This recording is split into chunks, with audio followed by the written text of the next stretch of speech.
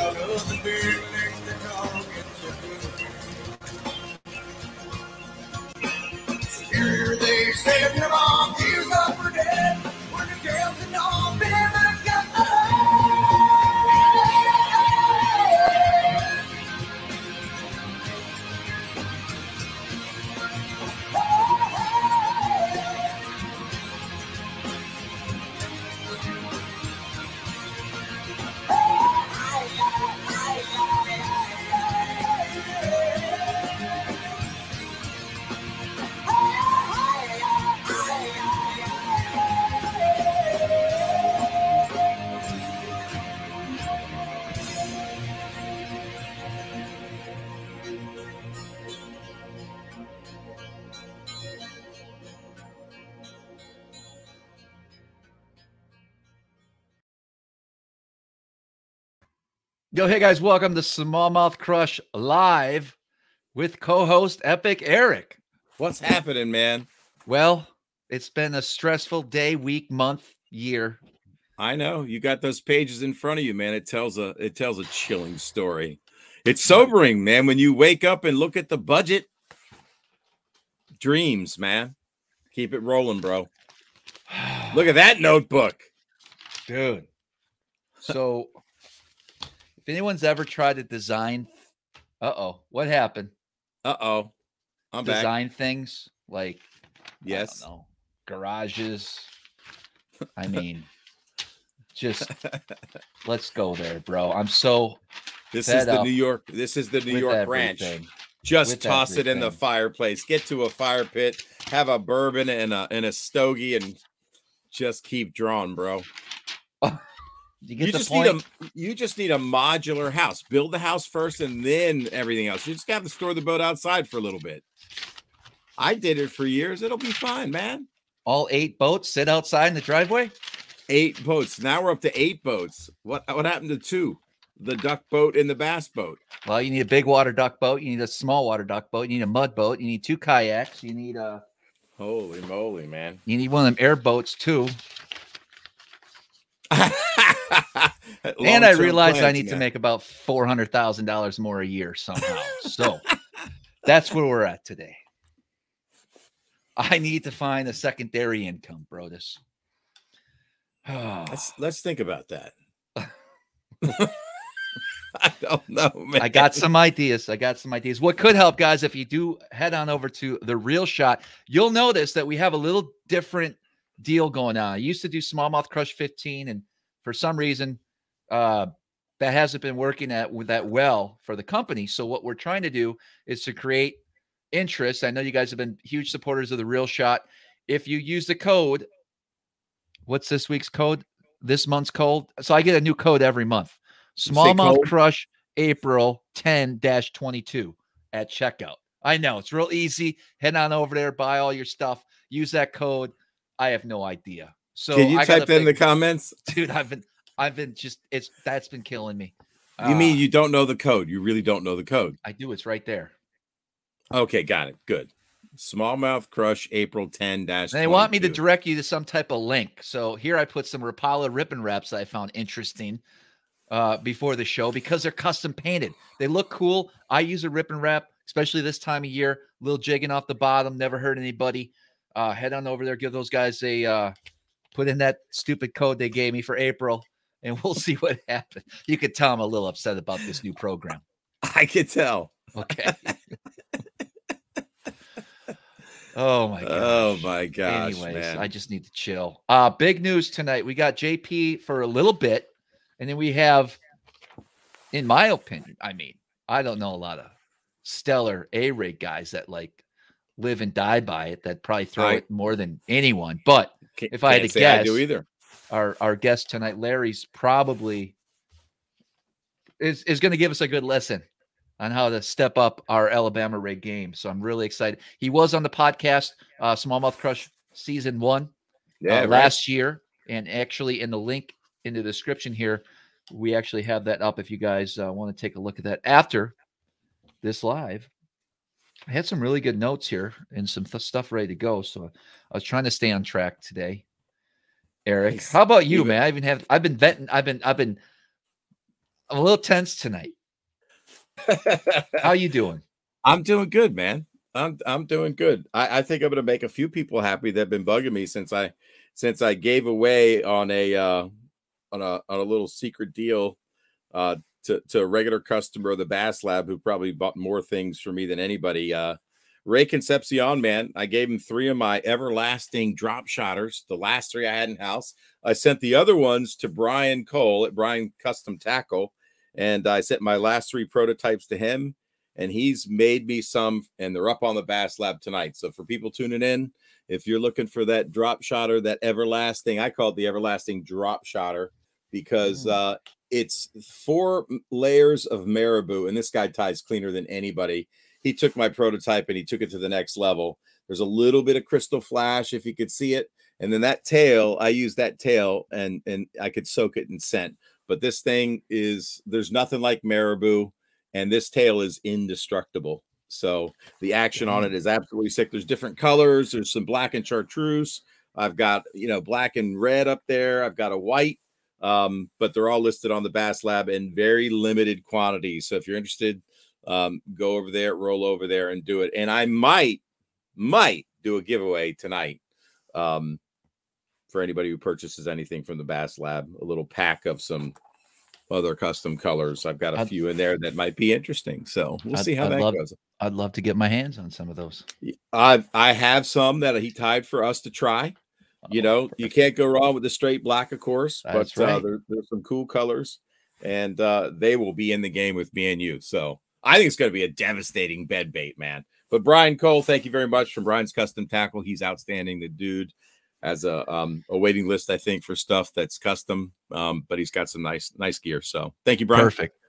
There you go. Right on, All right, man. we're we're running a little behind. Let's bring on our next guest. Quick uh quick little check-in with JP and uh, I guess Gino again. Does he like live in your basement, bro? Yeah. Oh yeah.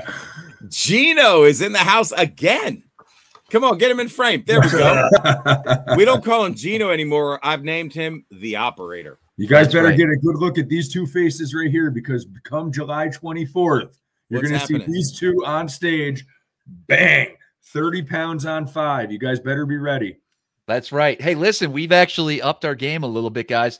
Uh, if you well, you'll notice Alex is uh is not here tonight. He's on paid time off. And so uh he had a few things going on. But he's working in the background on the website. We're going to get a link permanent uh well, te- temporary, but our permanent link up there until the tournament. If you guys want to sign up, we're going to have the waiver forms as well as a sign up sheet right on my website. If you go on my Facebook, I did post a link to the sign up sheet already. So if you guys are trying to get your hands on that, and uh, we can send them in. Do you get do you get some in the mail yet, JP? I got some people that sent me forms, uh, pictures of forms filled out with put in the post office. So I'm just waiting for them to show up at the house. Got a lot of positive feedback since we started pushing it, man. I mean, I'm really thinking we're going to be pushing that 100 boat limit. I'm thinking anywhere between 75 to 85 boats we're going to end up with. I was a little proactive today. I started calling around to some boat companies because I know they do some cash uh, payouts uh, for certain companies. So of course I started with Caymas today. Uh, I got a phone call in, so I'm trying to see if they can maybe. I don't know how it all works. Um, if they could, if we could try to get on like the Caymas Cash or Nitro Rewards and Ranger Money and all that. Who knows? I think I think if this works out, which it looks like it's going to, and uh, especially with the amount of uh, I guess anglers that have reached out to me so far, I think we're gonna have a pretty good event. You know, we're not keeping any money; we're just keeping the money for the boats and the ice and the and the plaques. Everything else is is 100% payback. So yes, it's it's expensive. It's a $500 uh, team event, so 250 a piece. But if we can get over that 50 boat mark, uh, that's ten thousand dollars to the winner. So it's well worth uh, your time, especially if you're going to be up in that area for the ABA the day before. Stick around one more day and come fish our event. Uh, we're going to try to actually do kind of a meet and greet with all the anglers and everybody the night before uh, over in Cape Vincent or maybe down in Clayton. We'll see what what makes the most sense. And I think Yeah. Eric's got his schedule. I think you're my partner, Eric. So You got it. I'm in. I'm in, bro. Travis is going to set it up so every 24 hours it posts on his page, guys. So what you guys got to do is you got to share it and tell everybody that's on your friend's page for them to share it. Because if we get 100 boats, we're talking about $50,000, which means we're basically fishing for roughly 45 to 46,000 dollars after the expenses, guys. This is crazy for a team tournament. Mm-hmm. Eric, it's everything you ever wanted in a team tournament in the I've Northeast. I I've been don't know if he asking wants- for it, man. I don't know I- if he wants those big waves. He's afraid. of Well, it. yeah, yeah. No, I just it's not my jam, man. Yeah, You know, well, I when- mean, it's not my jam. So I'm just I, I'm just hoping for a calm day. Uh, you know, you know, what I mean? that Caymas came with a passenger seatbelt, right, Eric? You're good to go. Hey man, let me tell you something. Here, here's my gripe because none of you guys are co-anglers. Gino, you are. The operator is right. He he he, he rides. So look, man. Here's the deal. So the nitro Travis had when you grab the handheld to the right of your body, your knuckles hit the fiberglass, and when you hit mm. a wave, it hits your knuckles, and you literally there's nowhere to put your hand to avoid that. A B if you want to try a hold on with two hands because it's ass kicking kind of waves and you're going sideways because you can get jammed as a co, right? Because you're not holding on to the steering wheel. The other handheld is too far forward. You can't move the mm. seat far enough forward Okay. enough to get a double handhold. What the hell, man? Who the hell is designing the ergonomics on these bass boats today for co's? It's ridiculous. You'll be fine. Do it right. And then some of the straps that come down, they're too short, so you're bending over. You can't. I mean, it's unreal. Whoever, I, I- I wish I could take the designer of a bass boat for the co and take him out in three footers and rock the shit out and go. Do a better job next time. Are you hearing me, bass boat manufacturers? Do it right. Like sit All in right, the Eric. seat. Eh, all right. I, thank you for letting me go off for a minute. Okay. Good lord, man. Whatever. I'm gonna bring a couple. I'm gonna bring a couple tractor supply special ratchet straps, and we'll strap your ass right in in the morning, so Travis knows how to strap your ass in for the There you ride go. back. Hey, dude. Hey, dude. Look, man. Look, man. Look, man. Here's the deal. A bass boat can f you up, and that's a fact, Jack. There's a lot of dudes walking around with bad backs because of bass boats, because of idiot drivers. Will And at the end of the day, I don't care if the prize is a hundred grand. A bad back ain't worth all the money on the planet because you only got one spine, bro. That's all I'm saying. Uh-oh. What happened? Why am I big? Travis, I don't You even should have brought a what. butt seat like Will did. Yeah, last Yeah. year, Will, last year, Will brought it out like one of them hot seats for hunting. Yeah. Did it work? Uh, ask Yeah. Travis. He was with Travis. No, it didn't work. Hey guys, don't forget to like and share this, please. Let's uh let's try to uh normally normally Alex is in the background here typing in all these responses and keeping track. But we're gonna do an ex we're I'm gonna do the best job I have ever done uh narrating and following the comments tonight and keep up with everybody's questions. And we actually had a couple epic uh moments already today. Uh some funny ones. I don't know if you guys caught that. MJ, that was a good one. What, what, Did you which see one? that, Eric? I posted on the screen. Smell like embezzling smell- scandal to fund a new garage. I just like that uh that picture there. he, would embe- he would embezzle for himself. Dude, is that the Macho Man Randy Savage? Yes. It's, it looks like it. It looks like all right. The reason why we wanted to bring JP on real quick, and of course Gino, is during our VIP back in January, we talked, and we're not going to name names. Uh, let's just kind of. I know a lot of you guys do follow the VIP. If you don't, you can watch JP's VIP from January. It's down in the description here. Uh, you can sign up for that and and watch past shows as well. But I just want to let you guys know that we decided to move forward with getting the uh, we're going to call it JP's secret bait, and we're going to be offering that tonight. Starting tonight, we're going to kind of do like a pre-order. Whoa, Um, whoa, I have whoa, what? No, Yeah, you you're not starting a pre-order with the general public. You're you're taking care of the, the- list to the Yeah. VIP. yes. Just to Whoever, be clear. yeah, yeah, yeah. Nobody, nobody in the general public really knows what's going on unless the VIPs are listening.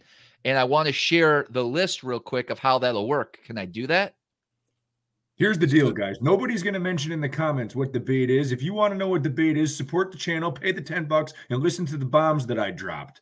All right. Because I don't want Right. that stuff getting out to just anybody. Well, time out. I don't think you can go back and watch that. Is that true, Travis? If I signed Yes. up today, Yes, you can. Yes, yes, you can. Okay, gotcha. Okay, there you go. I just and wanted to be clear. I just didn't want to wait until the next VIP, which is uh what May second, or I'm sorry, April twenty fifth is the next VIP.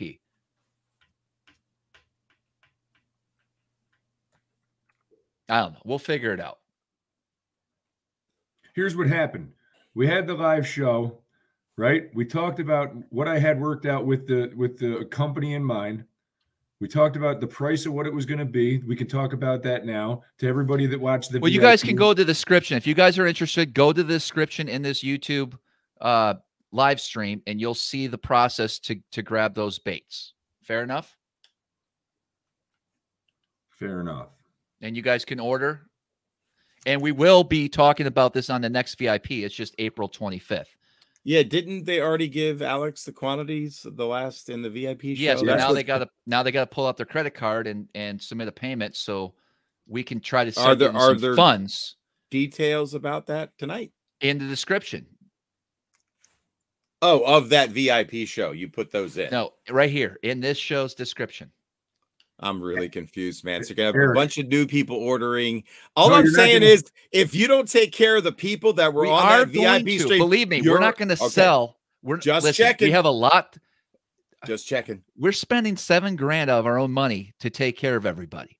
That's a I'm lot of checking. that's a lot of baits we got to move. So Eric, Fully Alex fully has the list of the people, the people that know what they're paying and how much they're paying are watching because if you pay once a month to watch, you're watching every free episode, right? You And knew who those you people are right. taken care of first. I'm Okay. confused too. Maybe it was better not Why- to even bring I, I don't know why. this Why did you do this, man? I'm Somebody save us. know. Who's going to save us? I'm trying, but it's not right. working. Just do it on the 21st then. All right, that's what we'll do. So Fair All enough. right, let's do this. Hold on a second, Travis. Cut it to a commercial here. I'm going to cut a good commercial right now for the 25th. Put me on the center screen. Okay. All right. this is going. All right, guys, here we go. Smallmouth Crush VIP once a month, $10 a month. We bring on um, select top quality anglers that are going to drop really good tips and techniques. I was the first person to go to the to the uh, VIP off of um, the Patreon when we made the switch over to the VIP. I dropped some real good hints, got the baits coming your way. April 25th. Tune in because that's going to be where the pre-order starts for the JP Secret. Get on there, VIP Smallmouth Crush. Can't wait to see you guys. All right. Good job, JP. All right. Nice. I think we just messed this whole thing up tonight. I wish we could do a whole redo, but I think we're going to be excited with our next guest coming up. JP, we're going to let you go. Gino, Later. Keep hanging out in his basement, bro. I love you.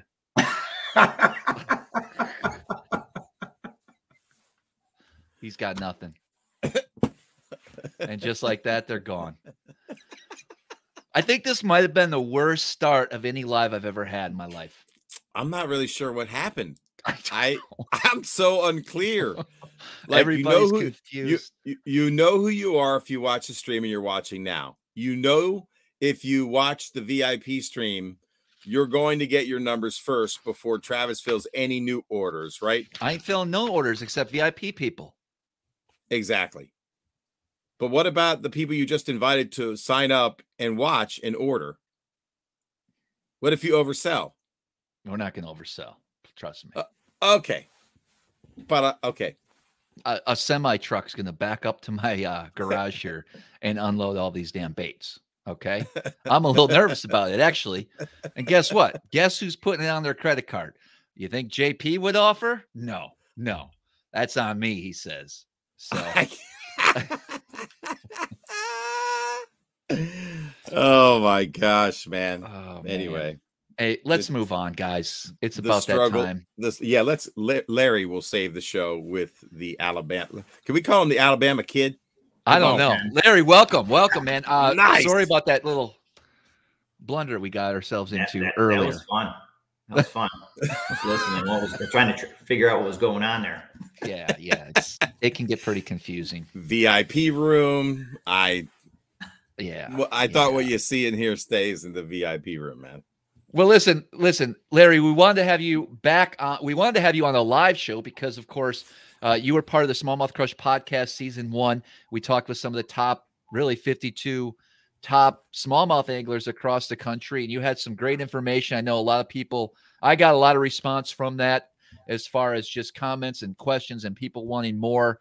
And so I know we have uh, a lot of smallmouth anglers watching tonight, a lot of uh, a lot of anglers up here in the Northeast, but really we have a, a pretty wide range of of audience all over the country. So a lot of these techniques that you're talking about with an A rig, guys can apply that to their fisheries down south, the Tennessee River, all over the place, really, when it comes to uh, just how to properly fish these things. I mean, as simple of a technique it is, or appears to be, there's a lot of detail, and guys like you that really have it dialed in have put the time in to really understand how that works because there's so many different applications where you can throw an A rig. It's not a one dimensional bait. And a lot of times, I think anglers are missing out on opportunities because they either don't think about it, maybe they put it away after a certain period of time, or maybe they really just haven't given it the, uh, I guess, the time that that that technique deserves. Does that make sense? Yeah, because it's it's it's very physical throwing it all day long, especially if you're throwing it for you know an hour. You're hauling this thing around, three ounce lure, throwing it around is exhausting. You know, you ain't catching anything, and you know how how that goes. You pick up a new lure, you throw it ten times, nothing bites it. You put it down. I'm going back to my go-to baits. You know, it's yeah, you know, people that go jig fishing, they'll go punch in and throw a jig. What are they going for? Five bites. That's But right. they're going to be the big bites, you know. So if you could put the commitment into throwing an Alabama rig, you know, you're not going to catch three, four fish every time you throw it out there. I mean, there's times I'll go and I'll catch maybe eight fish all day. Wow. they're, they're the eight, they're the right ones. You know? That's incredible, man. Yeah, I felt the burn of punching a mat before, man. I felt the burn of throwing the A rig. Um, I'll, I'll tell a quick A rig story. One of my first introductions, Smith Mountain Lake. I don't mind saying it. We were practicing. The fish were on the A rig pretty damn good. Next day, condition changed. Couldn't figure out how to do it. I'm a new A rigger. Scooter, my buddy's cranking, and he like looks at me, and we had a small limit, and he goes, "Everybody on this lake's catching damn good ones," and he goes, "I got him, get the net."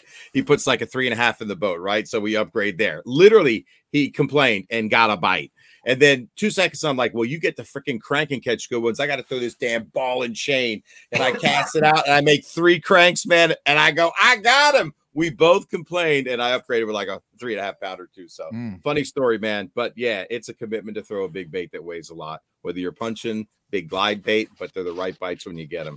And it's it's all in your gear too. You know, you don't want to get a heavy flipping stick. You know, like well, I need this big beefy rod to whip it out there so I can bring in four, you know, five pound smallmouth at once. You know, yeah, I interesting. mean, you got to get a rod that can handle. It's got you got to have some good tip to it. You know, I use an IMX Pro Loomis rod, Ooh, seven foot seven, and you know, people are like, oh, you, they just hit it. You don't need to feel.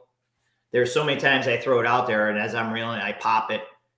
I'll, I'll feel largemouth hit it, and they hit it. They just like slap at it, just bump it. You know, they, they're not really aggressive. They're just like, interesting. oh, okay, yeah, uh, maybe I want it, I don't, you know, and you're like, oh, largey just hit it, throw it back out there, reel it, kind of think where you're at, you know, flare that reel or or pop it so those baits kick out, boom, you catch that fish, largemouth, you know, as opposed to a smallmouth hits it and wants to rip the rod out of your hand, That's crazy. you know, so it's you know, it helps with the fatigue of throwing it all all day long. And that that rod I found is the best. I mean, you pick it up, people are like, you're throwing a ever got this this rod and they're, it's weighted for two to six ounces. Mm. But it's like, I mean, it's it's not a tree trunk at all. I mean, it's a it's it's perfect for it's seven seven and it's perfect for the A rig, you know. And, and what's the, what's the number on that? Because I, I know I know that they nine have. fifteen UBR. Okay, thank you, thank you. And, Nine you know, UBR. Like anything else, good luck trying to find them. yeah, right.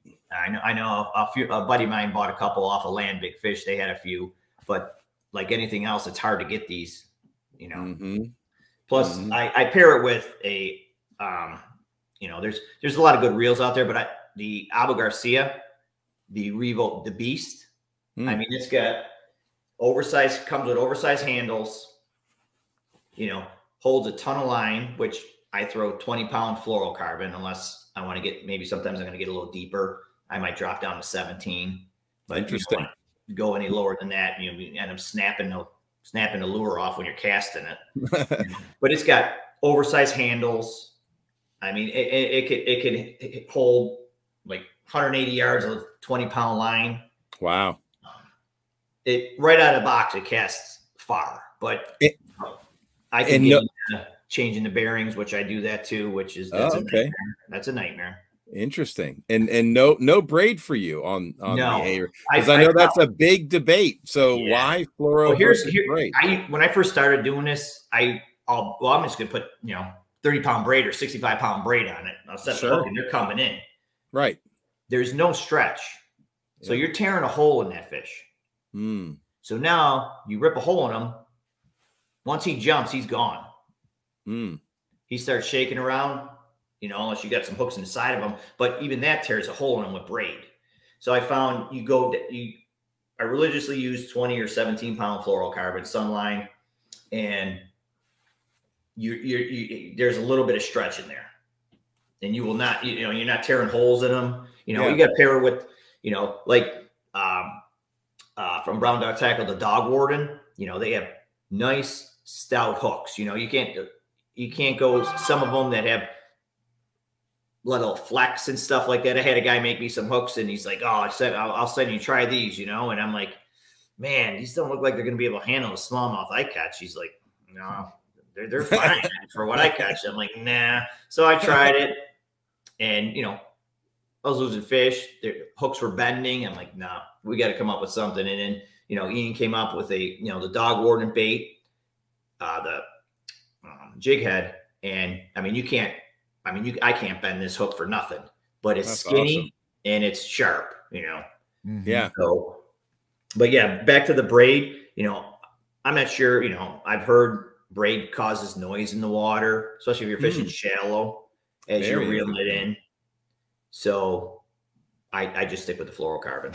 Which uh which sunline? Assassin, shooter, what do you got? Shooter. FC crank? Shooter. Yeah. Shooter, And- man. I do and love the shooter. only thing I've ever had an issue with with um, fluorocarbon is when you're reeling it in, you're reeling it in, all of a sudden you see one come right to the boat and you got like 10 foot of line out and you stop that and you flare that reel and he smashes it, you can't set you can't jack him like you want to Yeah. because you only have 10 foot of line out, you snap them every time. How about that? I've lost some big fish and some rigs doing that. Mm. It's hard to control yourself when he grabs it to turn around and hit him. It takes discipline, no doubt. Yeah. So we got the the the rod, the seven seven. You like a, a larger spool uh, uh, or bait caster with a larger spool. I use the what's the Curado? Is it three hundreds? Are they called? Um, Yeah.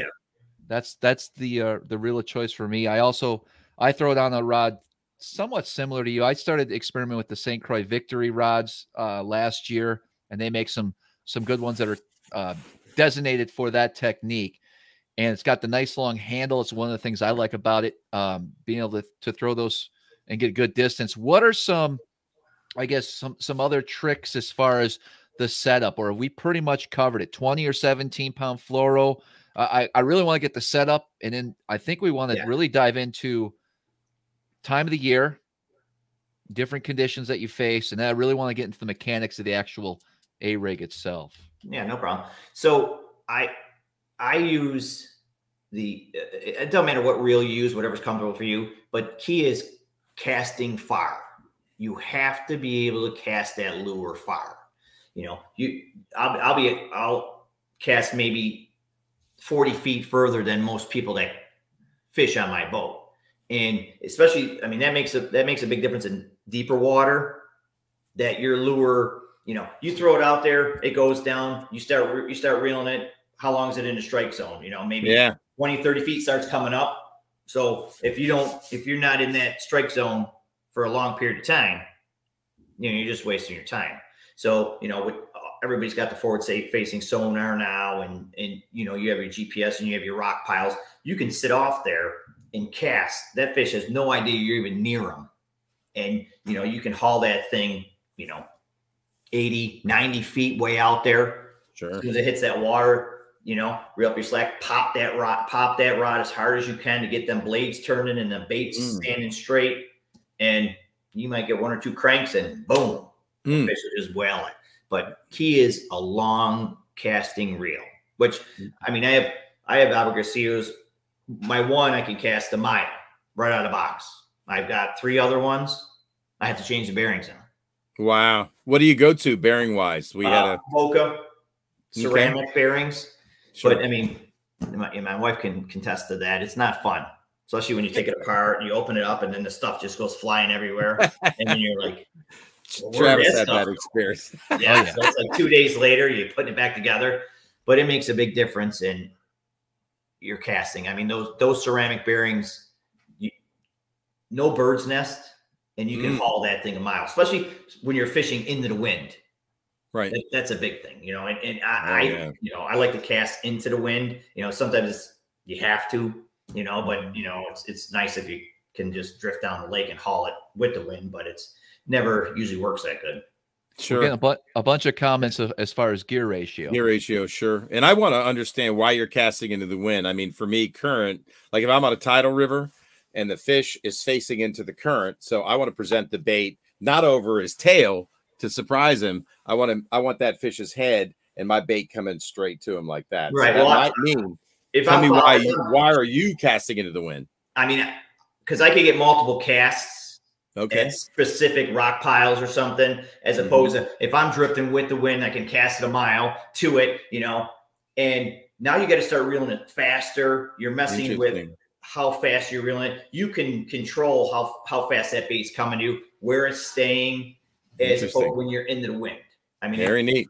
Very it- cool. it's it's no problem for me because I do it all the time. I get people in my boat with me and they're like, why can't we just throw the other way? You know, like, well, throw the other way. I'm, I'm fine. You know, but you can Right. still, you know, pick a apart. You can spot lock and you can cast and hit three different areas of a rock. right on. Okay. You know, as opposed to you get one, you know, especially the wind blows here at 20 miles an hour. That's calm days. So you get one good cast at it Wow. you know, Yep. and then you're reeling it, you know, you pop it, you hope your baits are stand straight out, blades are turning, you know, then you get it all the way in, you're like, "Ugh, things wrapped around the tail, the hooks on, Mm. you know, and then you're like, well, I just wasted that, and I just blew over what you were fishing. So it's just, you know, more of an opportunity to catch them and surprise them. I get it. As far as uh gear ratio, then Um, I use uh, six to two. I have six to two and seven to three. Okay. Okay. I can it I could pick up one or the other. It doesn't really matter to me how Mm-hmm. I'm throwing it. Um, I do the only time I like to use it the the higher speed one all the time is like if I go in shallows, like 10 foot or less, and I'm Mm. working a big flat and I'm searching because I mean it's the ultimate search bait. I mean, if there's a smallmouth on a flat, he's coming in. That's so cool. You can just move into an area and just fan cast it and stay on that troll more high, you know, 20 minutes, you know, like, but there ain't no smallmouth there because they're you're just like cats. They're coming in. They're, they're following it in. They're showing themselves. As my stepson likes to call it, he's he loves when the black torpedoes come in because you'll see them come darting from the side and come in. He's, Black Wow. torpedo. That's Right? so crazy. Big stuff. All right, I'm just trying to keep up here with the comments. Um, obviously, I guess let's talk. Every every state's different as far as uh, we just had some questions on on how many hooks and things like that. Right. Um, So we'll like New York, you know, like like I says, I I'm big with the, the brown dog tackle. A rig is by far the best. I mean, I've caught in, in one A rig, I've caught in a hundred fish on it, and That's these are so crazy. giant fish, Lake Erie fish. You know, I've caught multiple six pounders, doubles, triples. Um, the wires are thicker; they can handle it. But it, it's like anything else, though. You catch a giant fish, you're not boat flipping them in, or he gets in the net and you take him out of the net and he flops around. You let him flop around 15 times and bend the wires all over the place. Of course, you know, eventually he's going to break. And another big thing with these is any A rig. Everyone's like, oh, they're a big pain in the ass. You got to, um, you get caught on everything. So when you hook them on your rod, you're ready to go for the for the tournament or just fishing. People collapse them. So now you're bending the wire down. Okay, Mm. so I'll keep it so they won't get caught on anything. Then you bend them back out. So Mhm. then you go to the next spot, bend them back down. Eventually, it's going to break. You know, any wire I could just wiggle it back and forth. Eventually, it's going to break. Sure. So I mean, you just deal with it. You know, and you- trust me, I I say a few choice words every time I'm out there, and I love throwing it. But as soon as I get somewhere, I go to pick it up, and it's got this hook, this rod, this line, you know. And then you know, look at that, grabs Yep. this, got my pants, you know. And I'm like, are you kidding me? Am I gonna be able to fish anytime soon? I found a happy medium for me as a co. If I'm trying to fish a a rig, and all my rods are in the same place, and I have the luxury of spreading them out on the carpet, so I use um, a big swim bait soft wrap. It's literally can cover the whole a rig. I, I throw a fifth element from Shane's baits. I've thrown, you know, the one everybody throws, the Flash Mob Junior, and it covers it and it doesn't bend the wires in. I That's might have to mic micro adjust them, but it's not like collapsing the whole bait, so I have to bend it straight out again. Yeah, as a co-angler, it's a nightmare because it's Right. caught in your your rain gear and your pants. Oh yeah, yeah, but that bait wrap Carpet, i- yeah. is the deal. Um, what's it called? I I I surrender. Yeah, I think that's So what it's called. So for They're like you know New York, you got five. You can put Mhm. five hooks on there. So you can go up and say like Lake Champlain. The New York side, you can only use three hooks. Yeah. So you have um, one that's got three hooks, and you put hitchhikers on the other two. Um, you can also then you go over to the Vermont side. You can only use two hooks Really? you know so the it, like um with uh the brown dog tackle they make it so you have two six inch wires on the bottom and then three three inchers so i'll go with 2.8s or two Mm. two inch opti shads and then you know whatever color i want to use. And then i'll use a 3.3s or 3.8s on the bottom. So 99% of the time they're just going to hit the, the bottom two because they're the ones hanging back Mm-hmm. you know so when you're i've never had issues when i'm just throwing a, a two hook rig not hooking up Yeah. and the only issue is i can only catch two Right, right. that's my issue you know? I'd love to catch two fish at one time. I've done it a Well, couple times on a i'll jerk give you a, li- bait. i'll give you a little hint yeah, I've little- never little caught snare. two fish on an A rig. Only single fish so far. i've caught in so four That's so crazy. One one What little trick to do it, especially when you cast far away. Okay, you know how you cast, you take a long cast, hits the water. You know, as you let it get down to wherever you, you think the fish are, you jerk that rod as hard as you can, get them blades turning, get them bait standing, and you start reeling and get like two cranks and the fish hits it Bam. right instantly. He comes Mhm. up, stop reeling, Let him go back let down. him go back down because because he ate it like that because there's more fish around. What the hell? Yeah. I've done it in tournaments where my partner's like, my partner, he's like, dude, stop using three pounders to catch other ones. Because as soon as he goes down, you feel it. And then you're like, oh, yeah, there's more on there. Then you just No it and you have three, you know, two, three of them on. That's ballsy, man. But that That's- happens, that happens a lot though uh, on them long casts. If you get one to hit like on that first crank Yeah. and he jumps, you just let him go. Especially when you're fun fishing, what difference does it make? Oh, sure, Sure. sure. Yeah, Yeah. They don't get off anyways when you're fun fishing. So So- so- stop reeling. Larry, do you ever modify? Like, I, I know some guys will take the time to cut the little snap swivels off, put a split ring on, then the head on the split ring, so they, See- they don't trust the the snaps that come stock. Do you Well, do that's that? or why- no. That's why I get what I get. I use brown dog tackle. All right, it right has on. the best stuff you can get.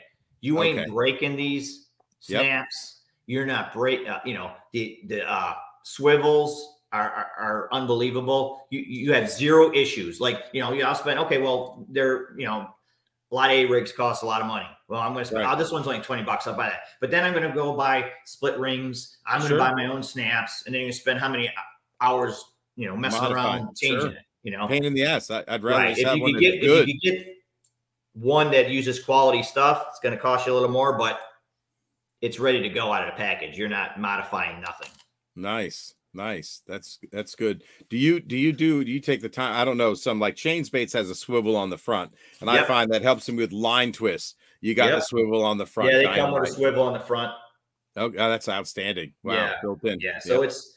I mean, me and Ian been using these, doing this for since it the, it started from Guntersville, the uh, Costa Series Championship. You know, a buddy of mine went down there. He finished second. You know, he called me. He's like, "Dude, I'm I'm all around these bass. I can't get him to bite. He's at the meeting, and then somebody was selling all these, so he went and bought them, and he fin- finished second.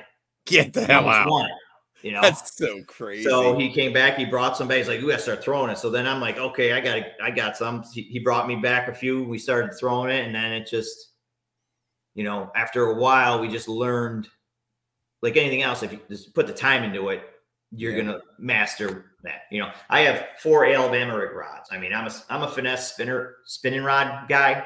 You know, I have six NRX spinning rods because I love smallmouth finesse fishing. My Well, man. NRX. I'm almost I almost I'm almost catching up with my Alabama rig rods to my spinning rods. yeah, I, I I just got a couple Loomis um IMX Pro, the chatterbait rods, and I'm I'm so impressed with those Oh, things. yeah. They're ridiculously good. Yeah, the NRX It's is that- uh, It's legit. And my my NRXs I'm I'm in love with. I have It one is- conquest that's seven six that I love for light, light, light, light finesse swim baits. yeah, the IMX Pro rod. I mean, it's 300 bucks Yeah. for a Loomis rod. That's not really a lot of money. Mm-mm. It's light, but you know, people are like, well, you don't really need to feel. Yeah, you do. You the way you you you're fishing this, you want to feel. You, I can feel. I can tell if it's a walleye that hit it. I can tell if it's a largemouth. It's a uh, smallmouth. You know, I'm like, oh, got Crazy. a couple largemouth hit it. Go back there, throw again, boom, largemouth. You know, it's just Mhm. Wally, Walters. They love the Alabama rig, especially. I mean, I throw a lot of uh, um, white and, or chartreuse, white and chartreuse. It's called um, what is it? Uh, black chartreuse back pearl and white. You know, but my thing with throwing the Alabama, I always put a different one in the middle. Interesting. Always, Okay. You know, Just- I'm, I'm mainly throwing five hooks, anyways. So okay. even if I'm throwing three hooks, the one in the middle is always different. What's it gonna be? Like if you're throwing that chartreuse white with all your I go to like I, I mean I throw chartreuse white is my favorite, and so is Tennessee shad, which Okay. is you know a lighter color. That electric blue chartreuse. It's okay. called blue or blue truce. Yeah. Um, That's know, gonna be I- your middle bait. and then I'll go with the bigger one. So if I'm throwing all three threes around the side, I don't know if you can really tell the color on this. Yeah, we can. And we know it. It's that blue truce. Mm-hmm. Um, it, and they'll hit it. I mean, for, for- if I'm especially fishing like Oneida or places that have largemouth, I will catch so many fish in the middle on this, and they're all then largemouth hit it constantly, So you're gonna put a three eight in the middle with three Yeah. and three, Okay. and then all three threes all around it. You know, Can we can we talk? I'm I'm curious, man. You I, you got my attention on the shallow A rig for for searching flats. Um, I, I fish, you know, mostly ten foot or less when I'm talking because that's my partner. That's where we're fishing, generally speaking. Um, what what size heads would you have on if you're in search mode, ten foot or less with your A rig? What's the ideal setup? Whether it's a five hook model, three hook model, dummies or not? I, I I throw a quarter on the top three, or I'm sorry, eighth on the top three, and Yep. quarter on the bottom two, because I want Okay. it. I don't want it spinning. I want it to Yep. run true. Yeah. Right? You got to make sure your wires are out perfect, or it's going to run on an angle. And Mhm. to me, it just doesn't look natural, you know. Yep. And then you're you can also go to. No, I like to throw number three blades. They're a lot smaller, but if you want to keep that bait up in the water column, Right. you might want one that has three point five blades. Interesting. And if you throw a three to a three point, you'll feel the drag as you throw it out there. As you start reeling, you're like, "Whoa, yeah, this thing's pulling back." You know, you you can keep that if you're fishing on top of over grass. You only have a Sure. foot zone yep. up instead of hauling the three and, and just burning as fast as you can. You can throw it real slower. It will stay up higher Interesting. with the three point five blades. Mhm. Interesting. Never tried that. But it is We is could- great for for co- covering shell. You know, a ton of uh, water. I'd love to see if Larry could get a bite on an A rig either on the Potomac or Upper Bay on a consistent Yeah. basis. So What is the deal with tidal water rivers we and struggle Alabama throwing it on rigs? I, tidal water. I've never tried it. I mean, I I rigged up some finesse A rig, like a crappy size, just to see like there's not a lot of bait fish balls except for in the fall. You don't see it as common, and I don't know if that's the determining factor. But damn, you'd think it would happen. Like When I you mean, go- what when you bass start- is not going to eat a bait that just like presents itself like that? You'd think they would respond. I mean, I fish tidal water and I've caught them at the Potomac on it. Oh, you have? Oh yeah, I, God, not that's good to know. But I've used. I mean, you can't have a lot of. You can't have real, real dirty water. Okay, Uh, If it's a visual thing. Right. It's a visual thing. You know, you start you go pulling. You know, it could be crystal clear water in practice, and you got a rainstorm come through and it's pure mud. Forget about it. And that's fair, Mm-hmm. but I mean, to me, it's like they'll eat a spinner bait, which has two freaking blades, and now Yeah. I'm presenting, you know, like six blades. A lot of times, what I'll do is I'll catch them with no blades. Hmm. Interesting. That or gold blades, Interesting. not silver. Yeah. You know, Hmm. and I and I, you know, like it says, we also made this the real small one, the finesse, which has only got three inch arms. Oh, And then I'll put, like it says, an opti shad, which is a two inch bait. yep. So you have the tiniest b- ball of bait coming through the water. Very cool. You know, you have blades on this, or you can get without blades. But the Opti Shad, you know, little two inch swim bait. Hmm. You know, especially in the spring, you know, springtime, you know, Sure. early summer when the bait ball, they're tiny, you know, all the fry. Yeah. You know, Yeah. I'll I'll haul this thing around, really, really tiny swim baits, and maybe a two eight in the middle. Interesting. Travis, that could be the answer.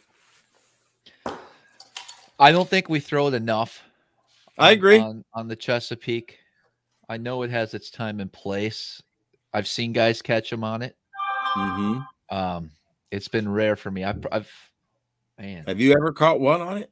I gotta believe I have. No, you I would just- remember the moment, man, because it would be like so cool.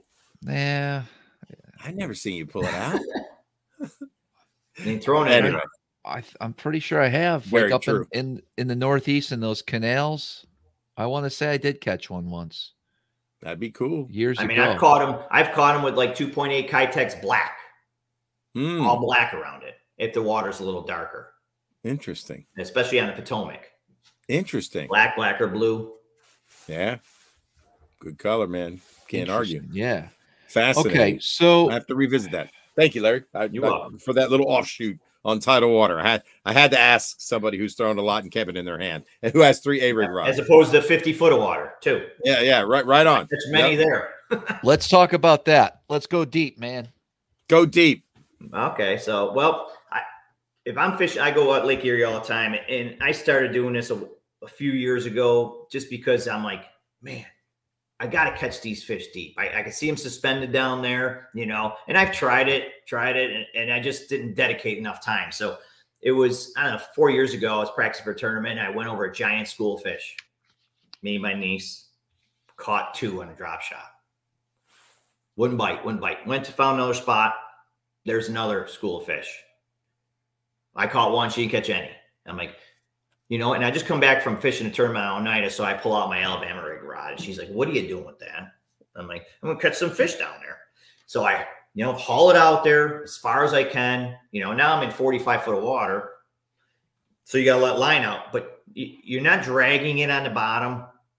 You're not fishing it on the bottom. You know, you're probably 10 foot off the bottom.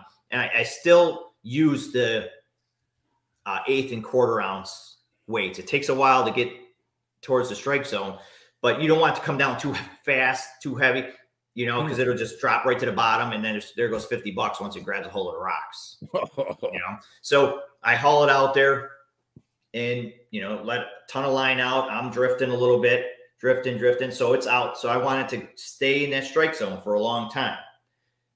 Click the bail, jerk that rod as hard as I can, and I just start. I mean, when I say slow roll, I mean I'm I'm reeling it like this wow. right? That's then, crazy. Then, then I'll either flare the reel like that to get them to kick out, or I I'll I'll just you know 5 six Mhm. inches of the rod tip, you know, holding it down, and then I, I go, oh, I just had one bump it. My niece is like, nobody, they didn't eat that dumb thing. then I just flare it, set back like this, and then all of a sudden pull forward, pull back. I got a six and a four. So I'm like, okay. So I went right back over it. I says, good, good to know. Went down to the other spot where we marked them all. They were all there, and it was lights out. Wow. So then the next day was my tournament, which we unfortunately lost, but we had 28 pounds. but lost. What? That's crazy. But we had big bass of seven. I think it was a seven two nine or something. All in Alabama rig Unbelievable. in deep deep water, and I mean maybe eighty plus fish day. Stupid. Mhm. Holy crap. Okay, so this deep water setup, you're really not changing the weight system. No, that That's, accurate? that's, fa- that's fascinating. The only thing I will change, especially when when the waves pick up, I will go to a 17 pound line. Mm. You want a little thinner line. Um, I might go drop my uh, uh, swim baits to 2.8s. They won't want to come up as much. Mm. Or, or I mean, sometimes I, I, I go to it, but most often I don't. But if you, if it's really nasty, no blades, because that's Hmm. also help keeping it up there. And I didn't have forward facing sonar years back. You know, it just it was the craze now. But you know, I'm reeling and reeling, and you have no idea where your bait is. You know, and then you're like, I think I'm reeling slow. It's down there. It's down there. Next thing I was like, pops out of the water. So It's on the you're surface. there wasting your time. You know what I mean? Things out there floating around. You know, you're five, six foot, six foot waves. You know, it's tough. So you let that thing get down there, and I'm throwing into the wind. You know, and then as it go, I let it get you know fall all the way down as far as I can get it as, as I'm looking at the fish on the screen. So now if I'm I'm reeling it like as slow as possible because you're drifting, maybe 0.8 or whatever. I'll start reeling it and I'll see fish go by on my graph. Right. So as I drift, I'm drifting over. I'm kind of guessing, okay, my my A rig's in the strike zone down there. I always in the back of my mind think, okay, there's a smallmouth following it. I'll flare that reel or I'll pop that, pop that line, right? So I'll just start reeling again. All of a sudden, I'll jerk it a couple times, pop the bail, let a little bit of line out. Make sure it's Mm. still staying there. You don't drift. Line gets tight, pop it again, then just start slowly reeling it. Especially when you're seeing fish on the on the screen, Very you're kind of estimating your bait, your A rig is in where them fish are. So you Right want on. to kind of start doing I- that, and they just next thing you know, the rod's bent in half. I, I want to stress that I've had that situation back in uh, this past fall. We were out in 35, 40 feet of water. And with forward facing sonar, you kind of keep track of your A rigs now where they're at. But the problem was, even when I felt or I'd look away and I felt like I was reeling slow and I was in the zone, and then all of a sudden you catch it on your live scope and you're like, man, that's way higher than I thought, even after all that time. You know what I mean? Isn't that crazy? Like, yeah, I mean, it- I've tried. I've gone to half ounce weights on the bottom. It, it in rural, real rough water, it'll still come up. It just rises. I mean, it's just the way the current's going, So- and the waves are crashing. Okay, so on a five on a five rig deal, you, the the top two are quarter. Is that correct? No. No, No. eighth, three or eighth. I'm sorry, eighth. All three of them. Top two All in the three. middle. Yep. The the middle one's eighth as well, Right. and then the the two down the below or quarter. are quarter. I Yeah. got So it kind of it's the keel weight concept, Yep. right? Yes. Yep. And and like a lot of times, if I'm fishing deeper water where you can only use two hooks, right, or three hooks, I'll still rig it with five hooks, so I have You that just- weight, and I Yeah. cut the hooks off right at the top of the swim bait. Mm. But now I still have that weight. You know, you're wasting, you know, hooks by Mhm. cutting them off, but you Sure. still have that weight. Those will be your dummies now. You know what I mean? Yep. Yeah. Just you- show where, like, in my tournament, I'm like, look, see, I'm cutting them off. You know, That's right. All right, I'm going to drill you a little bit more on that setup, but I want to I want to take everybody out on the water real quick if we could, and just kind of watch how Larry's actually fishing this bait and give us a little set the stage here. How deep? What you're what you're trying to focus on here while we watch this. Well, is it uh if you I don't know if people are gonna be able to see on my graph. Well, fish there's fish on the bottom about three feet thick on the bottom of my graph. They had just gone, I just have gone. There's an area I went through, I drove through, I marked a bunch of fish. So now I'm just I cast it, I'm letting a whole bunch of line out. Wow. How deep are you?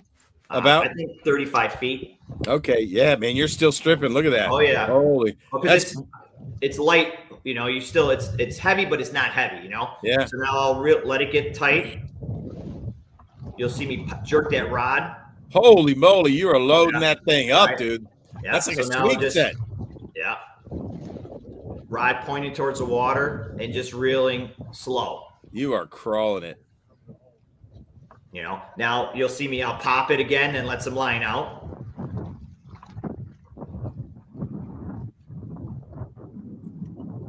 Right, lets a bunch of line out. Oh wow, you flipped the bait. Yeah. Okay. Now let it go down again. Pop it. Dang. Just because you want to keep it in that strike zone. My partner gets, my buddy gets one on a drop shot. He'll lose it. And Look at that. That seven seven's so sweet. Yeah. And it just, you know, and they just load up on that thing. It's just Yeah. incredible. But you'll see, I mean, it's really hard to see, but if you're looking at my graph, I can't see it. But if you're look, there's fish on the bottom. They're, you know, they're like two, three feet off the bottom. Have And you where- noticed? where- have you noticed when oh, you're deep water like this too? At times, you may not see all the fish that are hovering on the bottom, but when you start when you track your A rig, you'll see them just come up out of Yeah. nowhere. Yeah, It's, I use it a lot too, especially if I'm out fishing, drop shot and stuff. And it's like Lake Erie sometimes gets calm, like dead calm. You know, I'll have it ready to go because I'm sure Travis, you've had it. You're out in deep water. You're it's sunny out, calm, and you're drop shotting, and all of a sudden you see a fish surface, then another one surface. They're just chasing bait. I'll have that A rig ready to roll, just to, to, to cast when one of them comes up. But Oh, again, key, I'm casting into the wind, and you got to be far, far away. Interesting. yeah. So, so Larry, when when um, you saw the fish two three feet off the bottom, are you presenting the bait above them, like five Yeah. foot? Okay, It's probably foot? it's probably ten foot above them. They come Okay. up. I mean, the water's so clear, they come up and they Sure, just sure, sure. you know they got to eat it. Especially Yeah, when when I'm when I'm popping it, yeah, flaring them baits, or I'm jerking it real hard like that. Yep. You know, they can't resist. I don't know, Travis, if you have that other video where I let it go to the bottom and I pop it, Yep. I get what a half a crank. Uh, yeah, that was cool. I think you put that on the Instagram today. I mean, what's just like what's what's the deal with uh with all these boaters, man? What's going on here? Are you in a tournament or are you just No, no, around? just I'm on I'm on the hot spot. So I, I have a uh, I I bring a uh, crowd with me sometimes. right? I don't mind. They ain't doing what I'm doing. So just so, Larry, really Larry, when how like how many how far did you reel the bait before you did that sweep and push to press the button to let line out? Is I that probably do like 10, 15 reels. okay? You know, because I'm in my mind, I'm like, okay, it's it's starting to come up a little bit. You know, the more you do it, the more you just it's just I'm You got to feel, you- yeah, you know, yeah, you it's, it's yeah, you know, absolutely, yeah, yeah, yeah. know, I, so get, I you're- get it. Yeah, because otherwise, and the thing is, if you if if you just cast it out there and reel it in, you're down. Like it's like okay, if the fish ain't here, now it's coming up. You ain't Right. catching it. Right. You know, and you you know, you, and you could if you think, well, I'll just whip it out there, drag it on the bottom. Well, there's another one. yeah, you're gonna Yeah, be and then it goes fifty bucks when you drag it on the bottom. Yeah. I uh I threw a nasty nine into a brush pile and um we did not get it out. And I'm like, that was like 75 bucks. And I was like, just wanted to throw up. And I'm like, I hate A rigs right Yeah, now. people lose them and they're like, I'm done. I ain't doing this again. I'm not doing this again. yeah, that was too much money. yeah, yeah. I'm like, no, no, I'll, I'll use the Flash Mob Jr. and donate that, but I'm not I mean, the big thing too is you know you got to it took like an hour to rig up. You know what I mean? I'm like nine baits. What Yeah. the hell? glue your swim baits on. Do you? Oh yeah, yeah. Because I mean, Okay. you'll get way more Sure. You know, instead of it, it you know, it used to, especially when you're jerking that rod like that, Right on. it, you know, those baits will start to slip down, you know, so Yeah. it just, you'll catch a lot more fish that way, Yeah, Keitechs are so freaking soft. but they're good. You're damn right they are. They do catch fish. You can't argue with that. Wow, interesting. I mean, I've taken a lot of people, newbies. You know, I, I actually this summer I was out with Warren Sapp. I don't know if you know him. He used to play for the uh, Tampa Yeah. Bay. Yeah, And we were Cool. out there, and you know, I put an Alabama rig in his hand, and he's like, "Just this is like marlin fishing. You know, he's hauling it out there. He he caught a bunch of doubles. Oh my god. Oh yeah, he, he had fun. But like here, now I'm gonna throw this and let it get to the bottom, or close towards the bottom, and mark fish on there. So just strip my line, Yeah. Let it go down. But of course, I'm on the telephone. And half the time you were casting that last pot of fish, you were watching them on live scope. No, no, no, I didn't have it then. Oh, No, this is just you know in, this in is my the way head. This is the way God intended you to catch a bass. That's what my. That's what my wife said. My wife watched the last little bit of REDCREST, and I was telling her what was going on. You got Bobby Lane on the shore just casting a crankbait, old school, and you got Jacob Wheeler looking at a bass trying to get him to bite. And my wife was like, "Well, that's not the way God intended you to catch a bass." And I'm like, "Yeah, let's hope Bobby Lane wins," and he did. Yeah, so God spoke that day. I popped it. Yep. Two, two cranks. Oh, geez. That's a that's a that's a seven. Oh my gosh. And you're on the phone. Yeah, Don't leave that phone on your chair like that, I dude. do it all You're gonna hit hit 'cause then I that thing. take off and it comes flying back at me. I'm like, oh, I Oh forgot my my phone was up there. He's still uh, hello. I gotta call you back. I, I got a mess. He's looking at his text. Are you texting somebody? No, I was trying to get my phone on camera for my the guy I took out. Oh, I got you. I got you. And sweet with that with that big rod like that and that 20 pound line, you bring them in. There's no you're not finessing them or playing them or Yeah. you know. Mhm. But this one was a he was a this was a big fish. Did you realize he was seven when you're fighting him, or like because I- you as know soon as I set the hook, I knew it was a big one. like he started he started dogging. Yeah, like I set the hook into a stump. You, Oh, you that's just, so there's some the, the threes they they get they give a little, you know. Mm-hmm. I mean, it's it, it- I think it was 23 inches long. Holy moly, that's crazy. Are you on Erie right now? Yeah, Okay. that's like in November or, or late October. Do you throw the A rig all year long? Look Yep. at that stud. That's ridiculous. all year long. You never put it Yeah. down. No, Wow. nope, all year round. So, Holy so we got some big waves here for you, Eric. Oh yeah, no. I'd be standing in the middle, right on the well, right, This is- leaning up against the console. As you can see, nobody else is out there. No, no. I would be in the well of Travis's boat. I promise you. This is me teaching my stepson how to throw it. Oh wow. Oh no, man, he lit it up. Did you give him the seven seven Loomis? Oh yeah, Hell yeah. he's like, come in. I think waves were coming in the boat that day. He's he loves it. I'm like, you Yeah, want to get get it. off? He's like, no.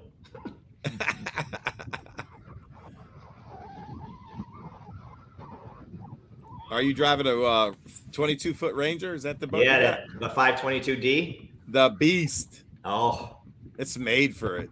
No yeah, other it's back like, boats. it's are like made for calm the out there. That's look at that wave. That's ridiculous. There's another one that's come comes right in the boat. Look at that. He's like holding on right now. What is what do I got? Is that a drum? Oh, he likes catching them too. He's it looks like he's got a tautog on. That's a tog.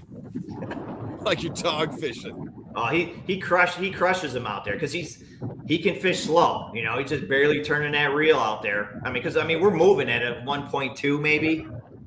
So I mean, you, you, I mean, are there days where you don't even have to reel it and feed it live? No, no, you still got to reel it. But there's some days it's too rough. You can't even you can't do you it. You can't do it. Sure, because it just starts coming up too much. right? I mean, those were there were four and fives there, Man, that's nice. you know, but it's it catches it catches them. You know, and that's at 45 foot of water. That's crazy. Yeah, he's a he's a hammer out there. Mm. They always catch him by surprise too, and I'm always afraid it's going to jerk him off the boat, like this one here. Right?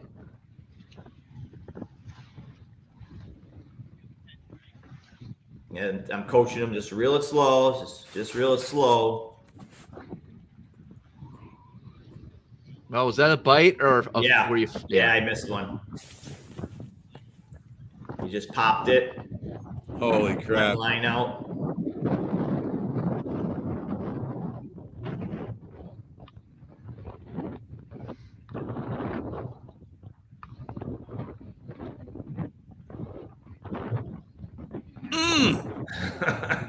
Damn.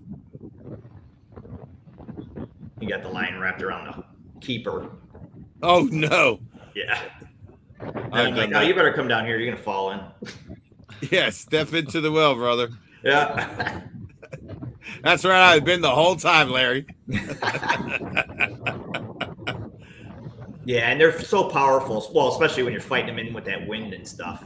And that's on a almost Now- a seven and a half foot rod. on, on days like this where it's hard to perhaps track or hunt, you know, on LiveScope and and catch them drop shotting things like that. Maybe you can't stay on the piece of structure or fish it as thorough as you want. Do you find that an A rig's kind of like the best option at times in these types of conditions? Yeah, because it's a good it's a good search bait because so like I'll drive up an area, up and down an area, and I'll mark fish. When it's blowing like that, a lot of times they'll just, especially in the fall time, they'll scatter. They'll scatter around a sand flat. So I'll get a group area with there, and there's some boulders, patches, and stuff in there. So this big wave, I think, comes right in. Oh yeah. Oh! I'm like Travis, take me the fuck And in. so I'll drive it. I'll I'll get a, a, a lane that I want to fish, and it's just like fishing a eight foot flat, but you're just in 45 foot water. Sure. Interesting way to look at it. You know, and people think it's really, really deep. You know, 45 foot's deep. It's deep. Well, I mean, my boat from the back of the motor to the tip of the trolling motor is almost 35 feet. So it's really not. You know, standing up on end, it's not that deep. If you look at it that way. I agree. That's amazing. All that right. was really cool to watch, man. That was special right there. I mean, you are snapping that thing. I mean, Yeah. that's like that's like snapping a chatterbait out of grass, like whop whop. You know, like because when you really got so much it. line out there, Yeah, it's not so pulling it very away. far. you Yeah, got to I mean, get uh, them. you you got to get them Baits baits to to go straight and flare Yeah, out, flare right? out. Sure. and then the blades will get turning. right. All on. right. So, so Interesting. I'm gonna ask you a bunch of questions. Yeah. I'm gonna ask Do- you a bunch it, of Travis. questions. Um, on the blade, size three most of the time. Like when you say most of the time, 80% of the time, Eighty percent.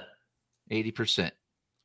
Pretty much eighth, eighth, eighth, quarter, quarter, 80%. Okay. Don't hold back. No, I'm not. I'm colors, you. colors, man. What what is what would be your go-to colors? And then Well, you if talked about. I want to make if- if sure. you- I want to make sure you're telling the truth here. If people I see- watched it. You see what he was throwing? He had the people- whites all I have to do is go to my Instagram. Every fish I'm holding up's got all chartreuse and white baits all around the outside and blue truce in the middle, or Tennessee shad and blue truce in the middle. I mean, it's you don't have to.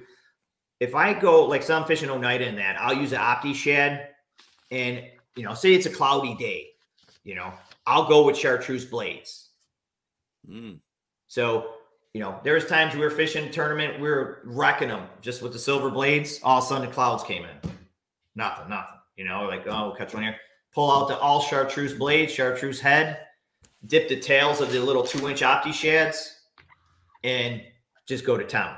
Game on again. Yeah. Very interesting. I, I found for largemouth, uh, they respond on cloudier days sometimes to a white bladed spinnerbait. Yeah. It's a forgotten thing. I don't see people doing it, and I imagine that's the same thing for an A rig. I mean, Yeah. I uh, use but- all white with white blades, or Mhm. the other one we got coming out is uh Mazur's Madness, which is coleslaw. Two white blades. Oh yeah, two, two, yeah, a white and chartreuse head, you know, just for those cloudier days. I mean, right. everybody throws a white and chartreuse spinnerbait, like you said, or all white spinnerbait.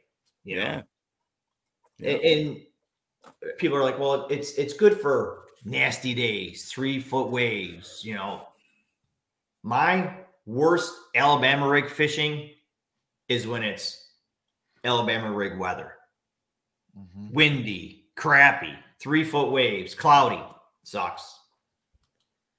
interesting. 90 degrees. Dead calm. A rig Dumb. defies logic, right? Well, the I finished fifth in the Costa on Oneida. And my co-angler I got the first day, he's like college kid. He's like, I'm gonna be a professional fisherman. I'm good at smallmouth. I'm like, that's cool. You know, I go, I got whatever you need to use on here, I'll I'll, I'll let you use. You know, he's like, oh no, I I'm, I'm good. I got I got the bait. I'm like, that's cool. So we shoot over to a spot and all alone, and it's dead calm, gorgeous morning. and I just go to town with the rig and I just start pounding. There was another boat that was about 300 yards from me and it was just dumb. So he pulls in on top of me and he's my buddy now. You know, he's like, ah, the, I pre-fished this spot. It's good. I'm like, well, you pre-fished over like 300 yards there where you're stopped, but you know, that's cool, whatever. So he's sees me throwing an Alabama rig. So now my Co-angler ties one on. He's throwing it, but of course he's throwing it with like five inch, you know, uh, yum with five inch swim baits and stuff. And I'm like, what are you doing? He goes, Right. that's just like yours. I'm like, no, no, it's not. He's like, it is. I'm like, you said you go to college, right? I go, don't look like mine. No problem. So I just wear them out one after another, doubles, triples. The guy finally leaves. He's like, I'm going to let you have the spot. He goes, I'm doing the same thing you are, but I can't catch him. So I'll let you have the spot. I'm like, oh, thanks. You know, he leaves. So maybe 80 some fish. That's ridiculous. My co-angler never weighed one in. No way. And you offered him the I- bait. I, cut one off one of my rods. I says, throw this. That's what he's that's like- exactly what Travis would have done. Yeah. No. Try with it. but Um, I, you know. I try helping, helping. You know, I'm not like Hold that, up. you know, So- like, So there's a so so the um so that chartreuse and white. There's a chartreuse black pearl. yep, Okay, but then there's one very similar, which would be the chartreuse shad. yeah. And the That's got a chartreuse shad- clear. It's got a clear mist belly. That one. Which one do you like better? Or are they The both? they chartreuse both should be pearl. good? It's Sorry. white and chartreuse, Yep. like milky white, not the clear one. The other one's got that Oh. clear belly. It's Yeah. in the cart. Okay, so so then the uh, the middle one is going to be the you call it the chartreuse blue, but the electric Electric blue, blue, right? chartreuse or whatever it's Okay. called. Yeah. I got a bunch of them up there. Or Tennessee Yeah. shad. Now, why would you Yeah. pick Tennessee shad over the chartreuse pearl?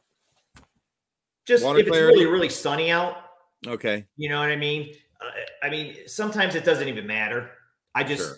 you know, I'll go through an area and I'll throw the, because I have so many Alabama rig rods. So I'll just throw the whole chartreuse one or the uh, Tennessee shad one through there, you know, Yep. work my way. Then I might come back through it again and I'll just Yep. throw something different. Mix it up. Yeah. Yeah. Just that, you know, they're not seeing the same thing again. right on. Makes sense.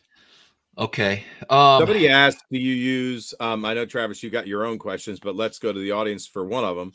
Somebody said, "Do you use the power paddle blades to slow your drift?" Uh, Do you have the? Okay, got you. Don't. I'll just keep No. myself slow with my troll motor. I'll nose Okay. into it, up over the wave and that, and try and you know get keep my bait down as far as I can. Especially if even if I'm drift fishing, dragging a tube. Yeah. That's all. You know, I mean, I catch millions of fish out there on a tube in the sand flats and stuff in 45 foot water, and I don't put drift socks out. I don't, you know. You're using your trolling motor. You're I just use my trolling motor to slow myself down. What's the ideal? I mean, like if you're looking at your miles per hour on your depth finder, what one a mile per hour? I mean, what what's tolerable? What, If, what if you you're if you're if, like if you're drifting, yeah.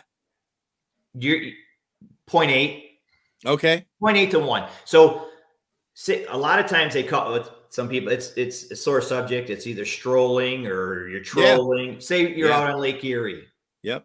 weights are terrible when it's sunny and dead calm and you have zero wind the fish don't Mm. want to bite Right. so i'll pick up a tube and i'll throw it key is just like with the alabama rig the tube i'll throw it with a three quarter ounce head as far as i can cast behind the boat. Then i'll hmm. let it all the way go to the bottom and then i'll take my trolling motor and drive wherever i want to take it and drag that tube behind the boat. I'll kick my trolling motor let it go up to a mile an hour. Then i stop. Then i get off the, the gas. Just let it drag. It comes down to 0.43 i'll step on it again. Keep that rod low. You're dragging that tube digging it into the bottom and you just destroy them and a lot of a lot of people are like oh that's that's illegal for tournaments because you're trolling and they call it Yeah. strolling but either way Gotcha. Yeah. Okay, so I guess I'm I'm looking at like your most of the time your go-to sizes. Was it the three three or three three eight? three Three three. O2's three three with the three eight in the middle Gotcha. Okay, and a lot of times it is that electric shad, electric blue chartreuse. Yeah. yeah You know, I mean, sometimes, uh, or you can just throw all Tennessee shad with the white chartreuse in the middle. Mhm, But I, I, mhm. for some reason, I like throwing that electric blue chartreuse. For some reason, largemouth like that. I'm in an color. area that's got like Oneida or anywhere else I'm Mhm. fishing that's got a lot of largemouth in it, So the Great Lakes, what would be your middle bait? You're out there for smallmouth. I I'm not still throw talking that. Oneida. What's that? I still throw that. you would. Yeah, oh, yeah. You just feel like largemouth will zone in a little bit better on that. that yes, time. Okay. yeah, but it still looks. I just like the different uh look it gives. You know, All you got these four bright white and chartreuse things, and then you got this milky blue chartreuse thing in the middle. That's kind of you know, in, in clear water, who knows what they they're seeing, you know, but they like Mhm. it. Okay. As How as how they it. often how often are you not throwing it with blades? On I'd say. Now, not I maybe No ten percent of the time I'll throw it with no blades. Okay, gotcha. Yeah. Gotcha. If it's real nasty and violent out there and I want to try and keep it down. okay, that's the only reason. Gotcha. Yeah. Get it. Or if I'm in if if it's if it's a cloud like stained water, if I'm fishing around grass or something, you know, use black and blue or black like on the Potomac River out and it gets uh real cloudy in that, I'll throw it no blades. Just to try and trigger a bite. Mhm. You know, my go-to is I'm picking up the one with the blades. Okay. So if you're if you're heading out for a tournament and you you expect to be throwing an A rig, and you, let's say you got a 15 mile run or whatever the case may be, are you putting your A rigs in the in the rod locker or are you keeping them on the deck? No, they're in the rod man- locker. They are. So they're just going to be a tangled up mess when you get there. Yep. Okay. I deal with it. Yeah. Okay. I say a few choice words the whole time I'm get, trying to get them undone Right, because I'm in a hurry.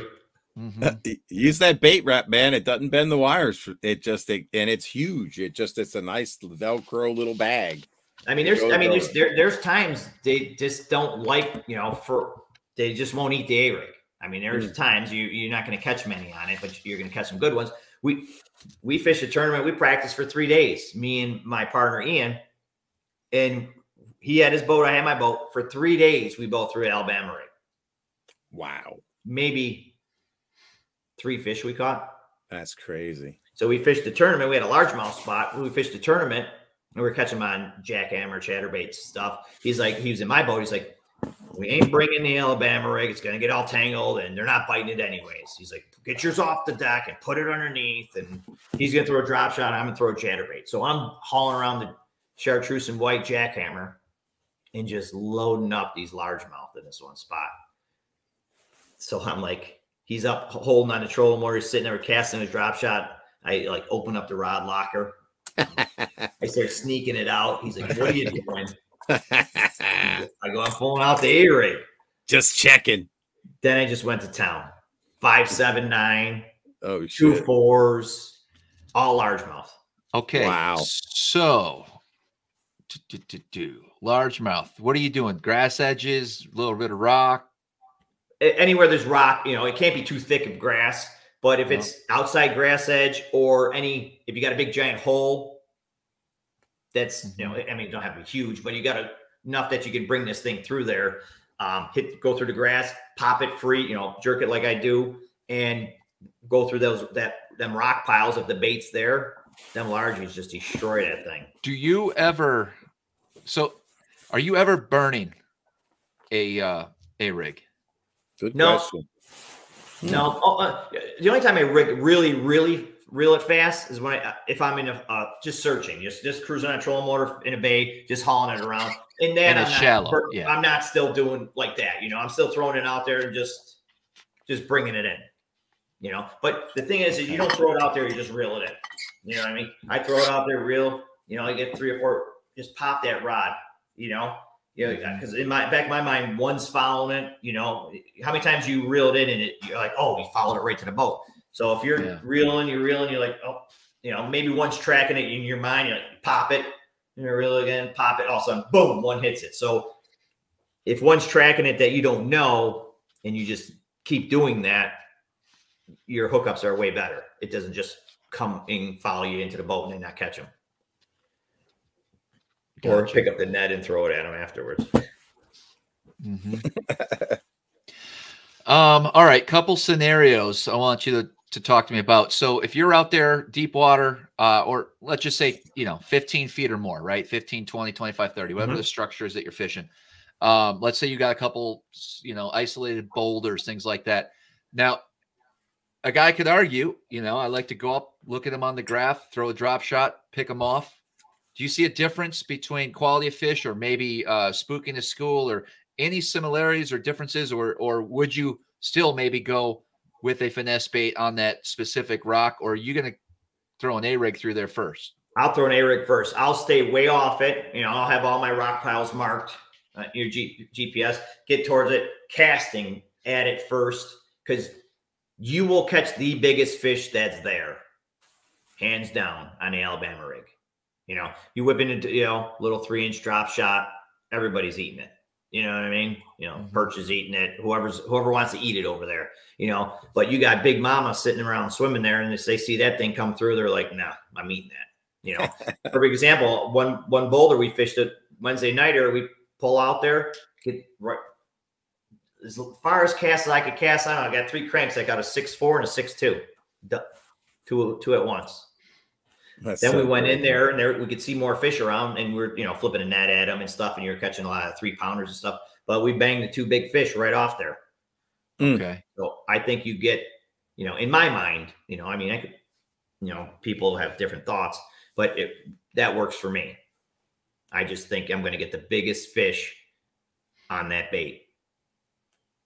Do you As ever long as you're are, throw are it. are most of the fish that you're targeting, even though it might be 40, 45 feet of water, and of course you are fishing, you know, 10 feet up or whatever the case may be. Uh, do you feel that there's those fish are chasing bait, or are you pretty much are you are you more open water with these at all, or is it a little tough to track them them fish down, or are you on top of some type of good structure that might just be in deep water and fish? No, they're chasing bait. They're chasing bait because there are a lot of these big sand flats that we'll we'll fish on Erie because there's not that much structure out there in our area, and they, they just roam these sand flats and then just they just they just follow the bait around. So if you can, you know you can get them, you know, five foot, ten foot off the bottom, just chasing bait. Especially if you get a big storm that comes through and that water churns up, them fish will rise. You know, you might have had them all on the bottom. Now they're, you know, you're in 35 foot of water and they might be 20 feet down. Mhm. You know, that water gets churned up and we I see it all the time. They just move right up. So and that's easy pickings. so so let's let's just stick with Great Lakes for a second here. Are you going to be targeting fish, uh, you know, pre-spawn with this bait throughout the whole summer, and then obviously into the fall? Like, is Yep. this Yeah. like you will do a, a pre-spawn deal with that as well? as soon as soon as I can get out, I'll I'm gonna haul this thing around. all year, man. All year Yeah. means all year. He never Okay. puts it down. If I Even can when he ice doesn't fish get a bite it for- there, I drop it Yeah. down there. Even when he doesn't get a bite for three days, like three fish in three days, he's pulling it out Yeah. No, they uh just yeah, to check. so like if I'm fishing, like a lot of times when I'm covering flats and stuff like that, if I mark a big, huge school of smallies, I'll I'll fish through it because I like catching them, but I'll go maybe 15 yards, 20 yards on the outside of them on either side and fish that area where I'm not even marking them because mom don't want to hang out with the kids. You know, the bigger fish is not is going to be off the beaten path, just sitting around like okay, just watch the kids over here. So you Interesting. Can, you can catch bigger fish. I mean, you're going to catch four, four and a half, four, four and a half, four, four and a half off that school. If you move off either side, you know you want to cover areas because the the bigger fish are going to be somewhere around there, and if it is, you're going to catch them. That's interesting. Hmm. Tend to be more isolated. Hmm. Yeah, they don't want that to you about know, smallmouth. six to six and a half pound smallies. They want to hang out with the fours. You you know, fishing Travis. How many times you go to an area and there's a million fish there, and you're catching the same size. Mhm. Yeah. It's never two, two, two, oh, seven. Hmm. Except for that one time I caught that one that was seven with Travis the first time he had me on Ontario. Might have been an eight. I don't know. Yeah, we were around big fish though. I'm just messing. but that would have been a place to throw an A rig. I have not. You're damn have, right. I, I'm more of a uh, in years past with an A rig. I'm I'm that 15 foot or less type of guy. Uh, that's where I did most of my damage. And the the biggest deal, uh, eye opening experience was last fall up on Lake Michigan and fishing in that 35 to 40. And my buddy Kyle was pretty much every cast with them. And I didn't want to, I literally was like, no, I ain't doing it. Uh, for one, I didn't bring an A rig rod. He had one. And I was like, I'm good. I'm gonna catch him this way, that way. I was doing the Ned rig. I was doing all that. cr- I was, I was a deep jerk bait. I had, I had the um, blade bait going. Like I was trying everything, and he literally was 40 plus fish to zero right at one point in the morning. That's crazy. Every cast.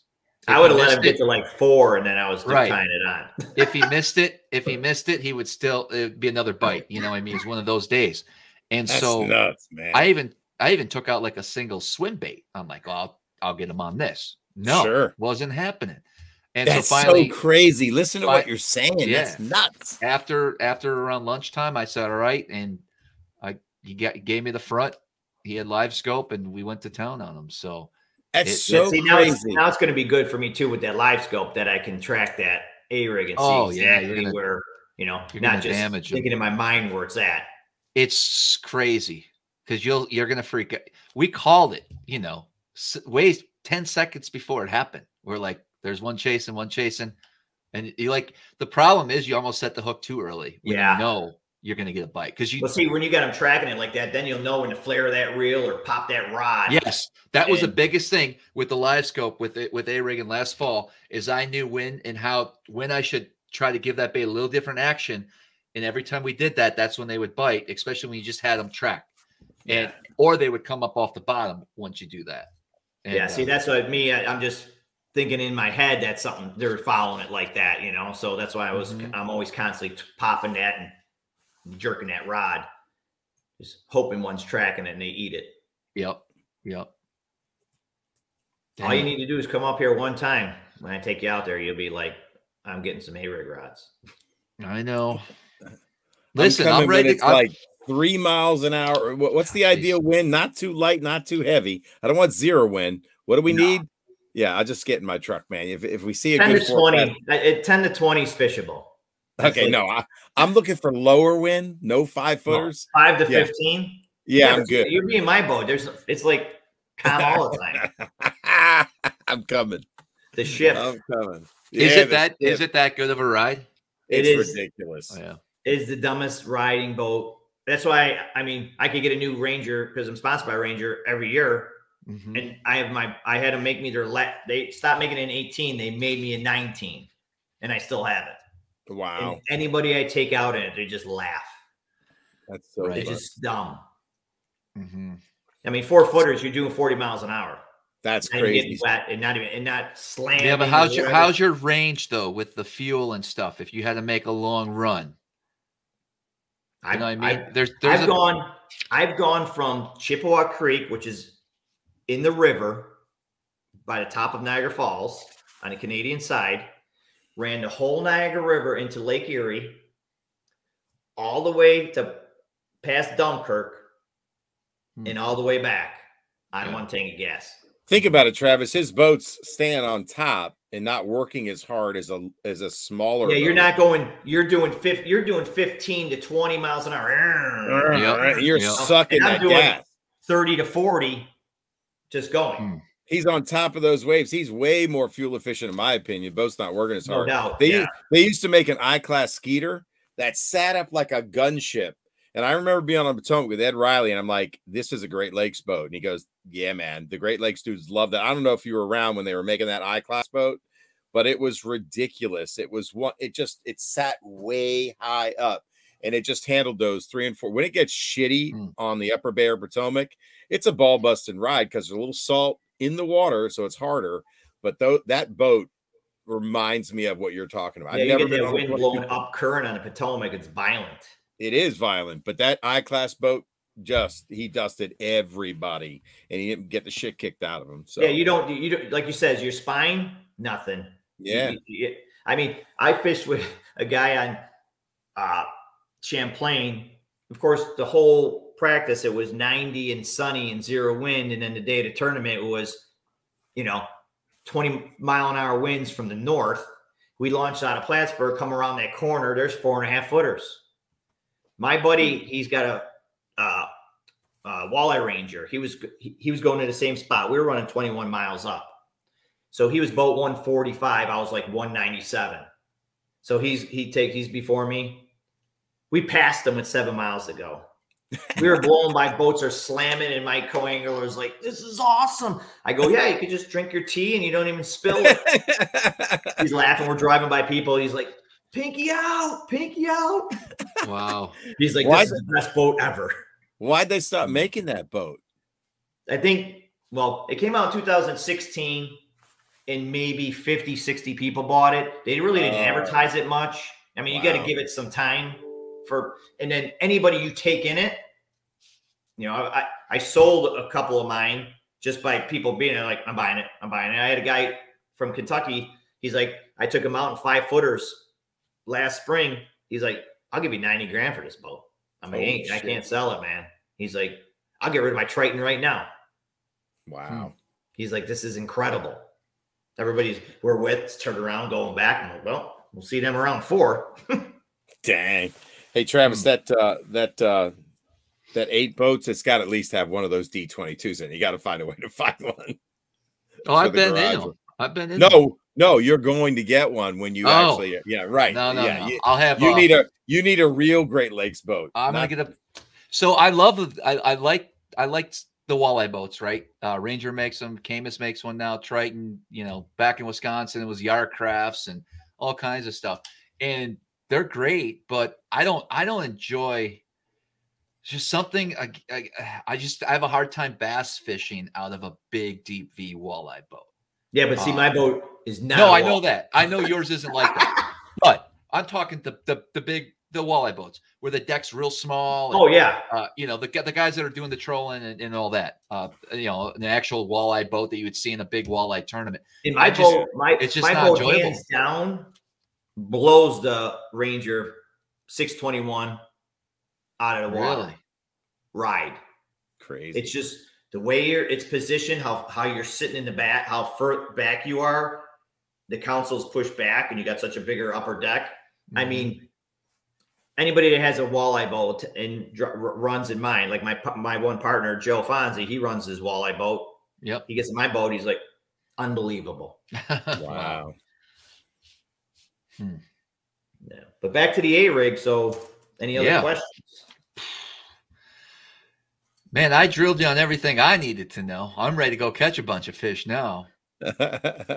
so so um I know a lot of people love the you know flash mob junior right that's probably if you ask people like what's your favorite flash mob flash mob flash mob apparently because those wires are a little bit more limber you get a lot of that flare action going on you're imparting the same flare action by that hard snap Yeah. um, and you get more durability it sounds like because the wires are thicker so you're not not necessarily looking for a limper wire that has more yeah. I, action when you I- I think, I mean, that, that, you know, I think people think in their mind, well, it's the lighter wire I'm reeling and it's doing this, you know? what I Yeah, mean? right. So pulsating sure it's not, I mean, this, this might be one gauge heavier, two gauge heavier than that, you know? But I mean, if you're catching giant smallmouth, you're catching can't. doubles or whatever. I mean, it's Right. just, you know, It won't. It won't last long. You're right. No, I mean, don't- I, broke. I mean, I used to. That's all I used to throw way back when is flash. I, I mean, I, how many fish I set the hook on and they jump up? And There goes my fish. I reel it in. I got now. I got four arms. believe me.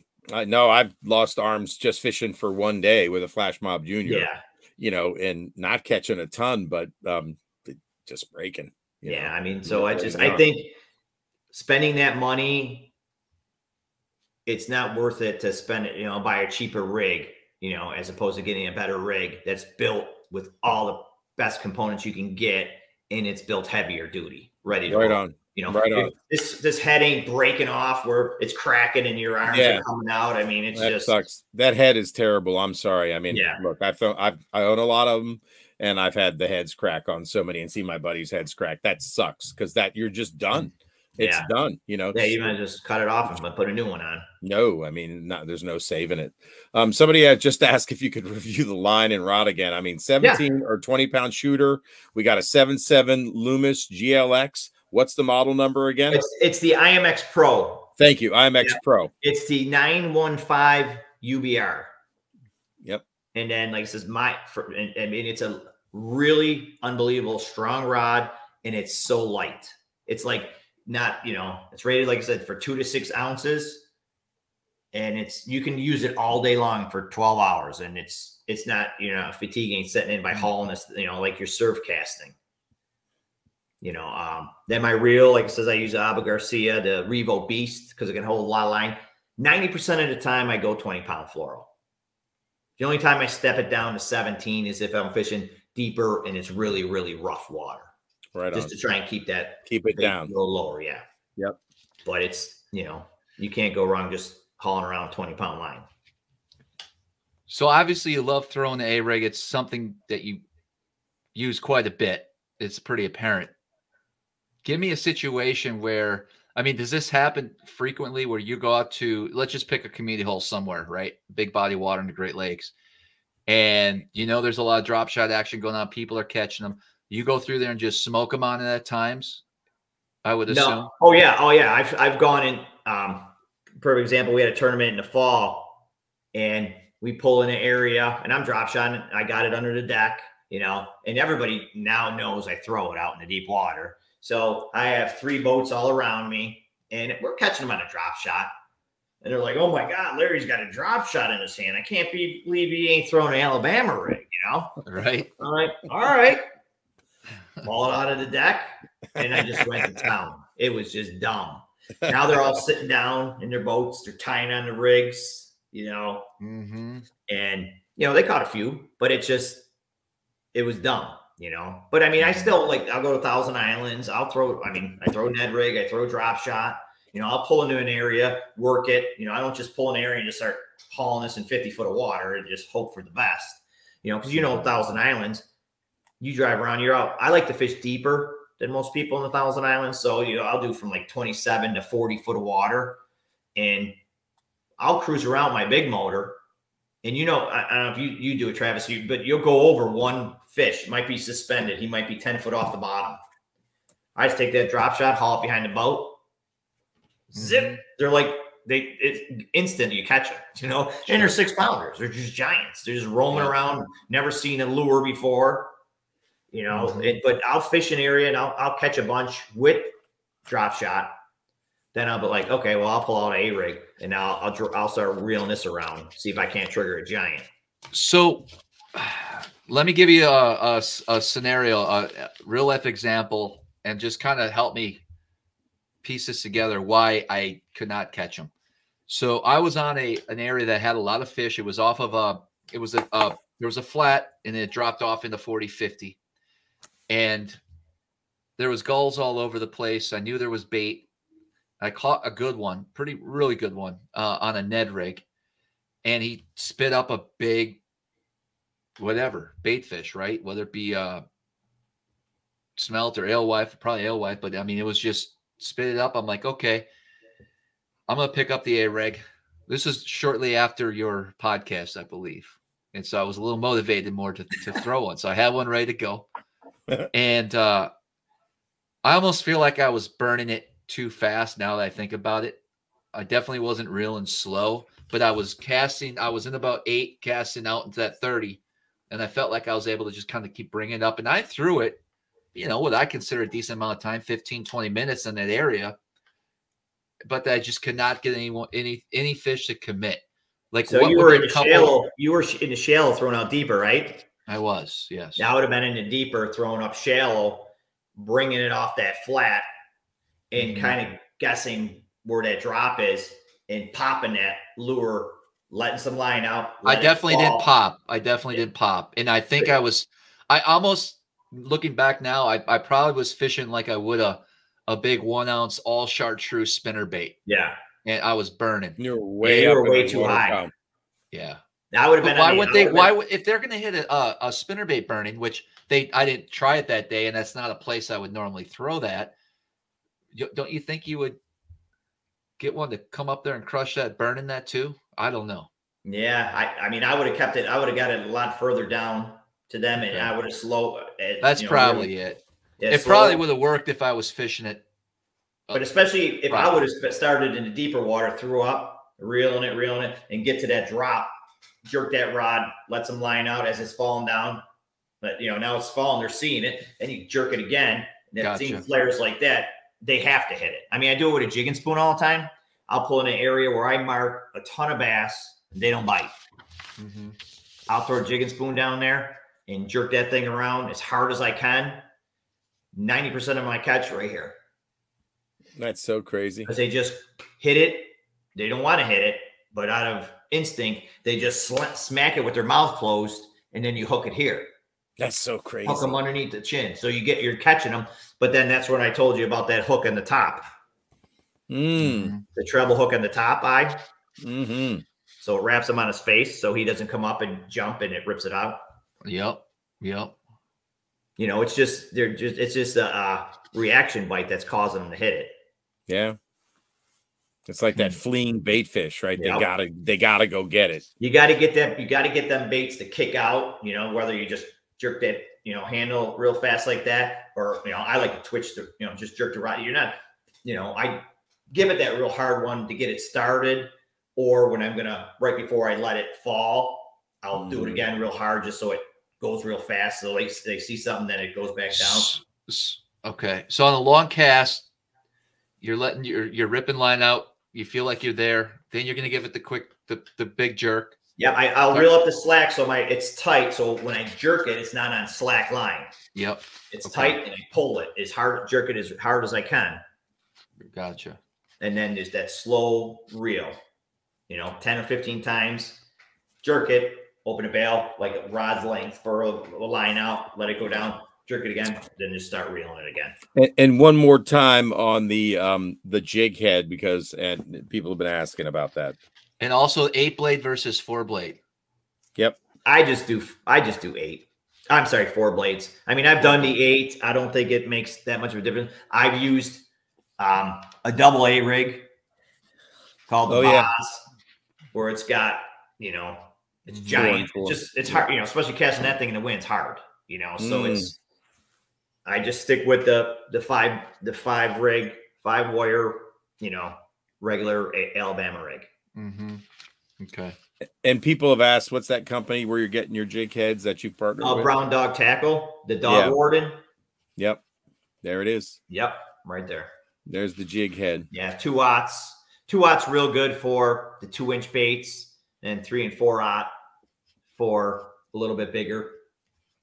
Three threes, three eights. I very rarely, you know, I I was down in uh, uh Kentucky Lake, and then I was using three eights with like a four three in the middle. But you know, I was down there for big largemouth, and down there, and that's probably why I got really hooked on this blue chartreuse it's Mhm. because that's all everybody used down there for largemouth. So now it's in my head that oh, I got to use it for largemouth, and you know this is many years ago. So it's just something that stuck with me, and it works. Gotcha. They say blue's the last color to disappear in the water column. Oh, they eat it. fact.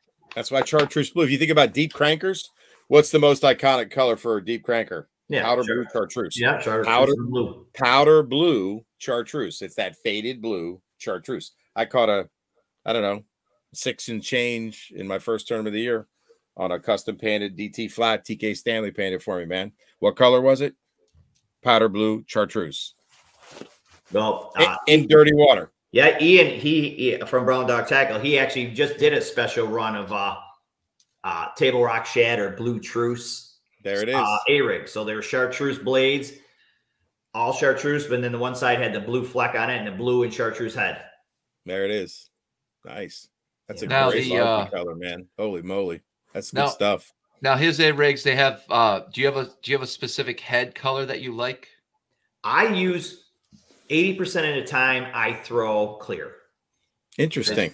Right. Unless it's cloudy and I'm going with the chartreuse, chartreuse and white or chartreuse, then I want a chartreuse head. Um, he makes a smallmouth magic one, which is really looks good. If I'm gonna, you know, maybe throw smallmouth magics, swim baits, which I hardly do because Mhm. I, I throw what I throw. Some But, guys uh, love that color. Yeah. yeah. But they're gonna eat it. But guys love smallmouth magic, and them smallies will eat it. I mean, I destroyed them on Champlain on smallmouth magic and that Alewife color, that purple swim bait, purple and white belly Alewife color uh, by Keitech. You know, Mhm. but um, the clear head is my go-to. I mean, everything I, I got, everything I got. how how are you uh how are you storing your swim baits? I leave them in the pack. Okay. Yeah, I have everything in a big giant, like plain old big bin, and I got a bunch in the back. Got some in the Keitech shipping box that they sent me Right. in my boat. I have them in the plastic thing, but they always stay in here. okay. And Keep then- them straight, man. Yep. You know, Well, because- I listen. I Keitechs are actually one of the swim baits where I I don't have a problem putting them in a plastic 3700, especially the 2.8s and the smaller ones. They really don't take shape. It's hard to, you know, if, especially if you put them in nice and straight. And you don't pack them too tight. That's one. That's one of the swim baits where I that and like a hasdon don't really have a problem with that. yeah, the has dogs. I like that nice drop shot bait, but I, I just keep them in their plastic. I mean, they come Okay. packaged already, so why should I take them out and put them in something Mhm. else? How? so I I'm just curious. Like a typical uh, year, do you know roughly how many of these you'll go through? Alabama rigs? The swim Yes. baits? Well, Oh, both swim baits? both are Yeah. great questions. Okay. I'll probably go through maybe 20 A rigs. Okay. Okay. Okay. I, because I don't break them. So the ones I use in practice, I'll cut them off and then I'll put a new one on for the tournament. Sure. Mm. Just, just, I don't want any issues or anything. But I mean, I've caught, I've used it probably one A rig, four different tournaments. You know, Wow. you're, you're changing the hooks and that. So that's all that matters. Um, you can tell if, if as long as you're even bending your wires, you'll see if there's any creases in them. If they're all smooth and there's no little creases in them, they're not breaking. Um, Keitechs, well, I'd say a few hundred. Mhm. Even though I glue them, I, I mean, I go through a lot of them, Um. but it's the best one you could get. I mean, like unless I use that little tube, this little Opti shad for when I go with the uh the finesse one, and I'm I'm throwing this little guy. You can catch probably 30 fish on this guy. He ain't pulling his tail off, nothing. You know, That's it's a walleye bites it off. But Mm. all day long, you can throw five of these little suckers, and they they're so durable. So That's amazing. You know, I might just dip his tail chartreuse. So why are you what? So what? What makes you throw one over the other again? Smaller bait. This small bait, he's a little two inch. Like the Keitech, you got two point eights. He's still bigger than this. Like in the summer, Travis, when the bait gets small or when you got smaller bait fish present, he says he likes Yeah, that. I just I'll, I'll start out. You know, I'll, I'll have always have one of them tied on in the summertime. Just if they're you know they just might keep if they're keen on. You know how you're out fishing and all of a sudden you'll see this one tiny little bait fish and that smally's tracking that little sucker, it- and you could throw anything you want at him. He don't want Mhm. nothing. He's following that tiny one. You know, it, Oneida per- famous for it. He's chasing a little one inch, one inch and a half Mhm. little bait all over the place. So, you know, you think, well, the 2.8 is pretty good, you know, but it's, you know, it's almost a whole inch bigger than this. Hmm. He's a little guy.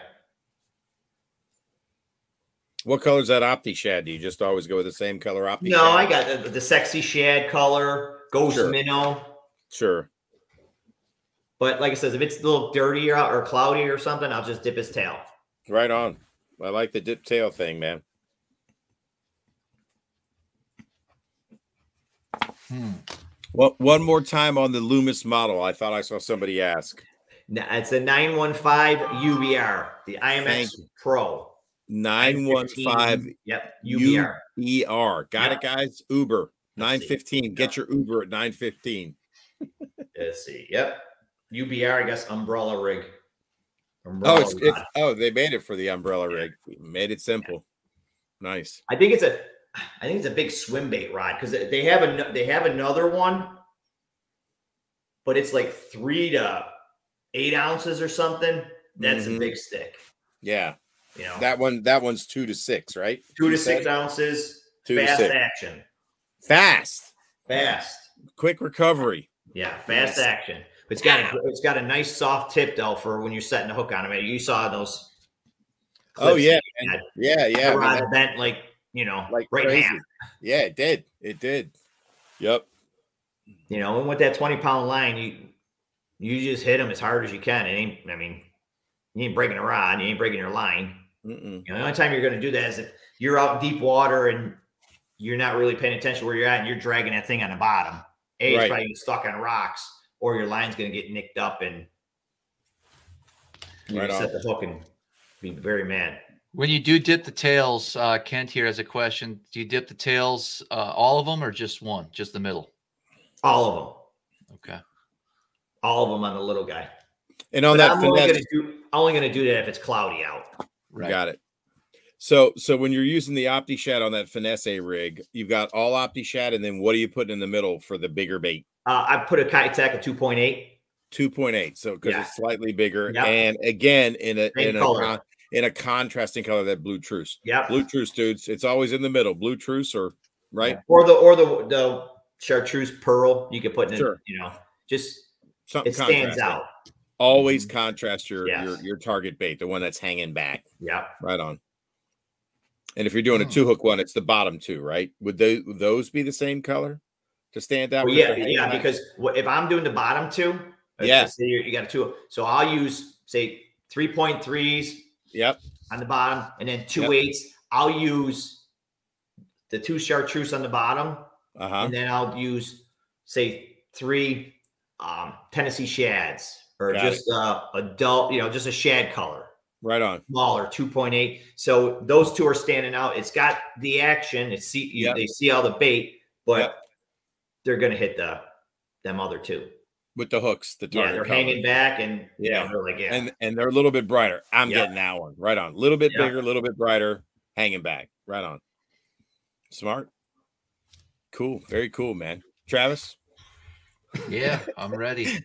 Place your order. I will I be digging. Just just bone up on um a little bit because you know I'll be digging around in your boat, man, and I got to Mhm. have it. I got. I got a bunch of. Uh, I there's a couple. I know you got it. You're a Keitech guy, man. So I, I know mean, you I got, a lot of it. And I you got got them in stock. You got them in stock. I got a few. yeah, you always got a few. I know I got a few. I'll go to my Keitech uh, inventory. I um. I've learned a lot tonight. This has been amazing, Larry. Thank you. Yes. Very oh, you're cool. more than welcome to come out and then you'll you'll learn a lot more Oh, I'm booking. I'm, all I'm gonna, uh, it's already down. Yeah, That's what I need to heal my woes, man. it's a, and it's a guarantee it's not a well you should have been here last week it was Right. Right. my it, it my new work saying, yeah, you should have well, been. here anybody's gonna catch I, i'm gonna catch him so yeah, I just want to say, guys, before I forget, if, if you're if the viewers here, we had we had real good high numbers, almost 300 live viewers tonight. So we thank you for that. We really appreciate everybody tuning in. Uh, if you want to hear a little bit more, I have a link down below uh, to the podcast that you were on last year, and you you mentioned uh, A rigs quite a bit in that as well. So that'll be a good recap if anyone's interested in taking a look at that. Also, we had uh, another guest that sticks out of my head, uh, Kyle, my buddy Kyle Carpenter from Wisconsin, talked A rigs on the podcast, but a little bit different. Um, we don't have to get into that today, but he fishes them extremely shallow, uh, five feet or less, and it's more of a uh, kind of a drag, if you will. Uh, keep that thing on the bottom type of deal that works around specific times of the year on the Great Lakes. And if you want to learn more, go check out that podcast as well. So there's a lot of different ways to fish these and experiment with. And I love hearing everybody's story. Yeah, I when it mean, comes it's- to, it's uh, fishing. what works best for you you know what i mean you get Right on. dialed in and you you you start to you know learn a little more and more and you're like well well he does it this way but you know this really works better for me you know I, I like i'll throw 15 pound line and it's good or i'll i'll throw the little finesse guy around docks you know what i mean i'm flipping that thing around docks and it's just whatever works for you but i mean i've had a ton of success the way i do it you know Have, have you messed around on the Tennessee River and stuff, A Reagan at all? Oh, Any yeah. Tips you can give Yeah. to some of the guys down south? Is it the same Same deal. You just get it Same down to the thing. The biggest thing is the clear water. You can't have that dirty water. You know, you can you get dirty. I mean, that's it's it's really good in it. You know, especially Guntersville or Kentucky Lake in you know December, January. Mhm. I mean, you're catching giant, giant bags. A buddy of mine just fished a tournament, uh, another lake out in um, Kentucky, and 20 pound bags usually win 19, 20 pound bags. He had 17 chains, and I'm like, you gotta be throwing a rig. Yeah, nobody throws a rig there, you know, You nobody throws a rig.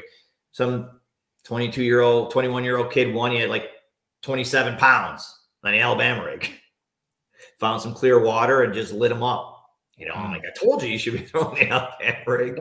Yeah, let's talk about that real quick. I mean, it's been this technique's been out for a long time. A lot of anglers have thrown it. A lot of guys like yourself all over the country depend on it quite a bit, but it's still uh, very effective.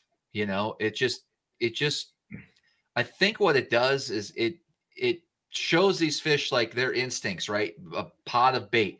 Even though to us it might look crazy with metal and everything hanging out. I mean, they're just reacting to their environment and they see something like that that's just triggers a response. I think that's why it's still so effective, even though there might be a lot of other guys using it.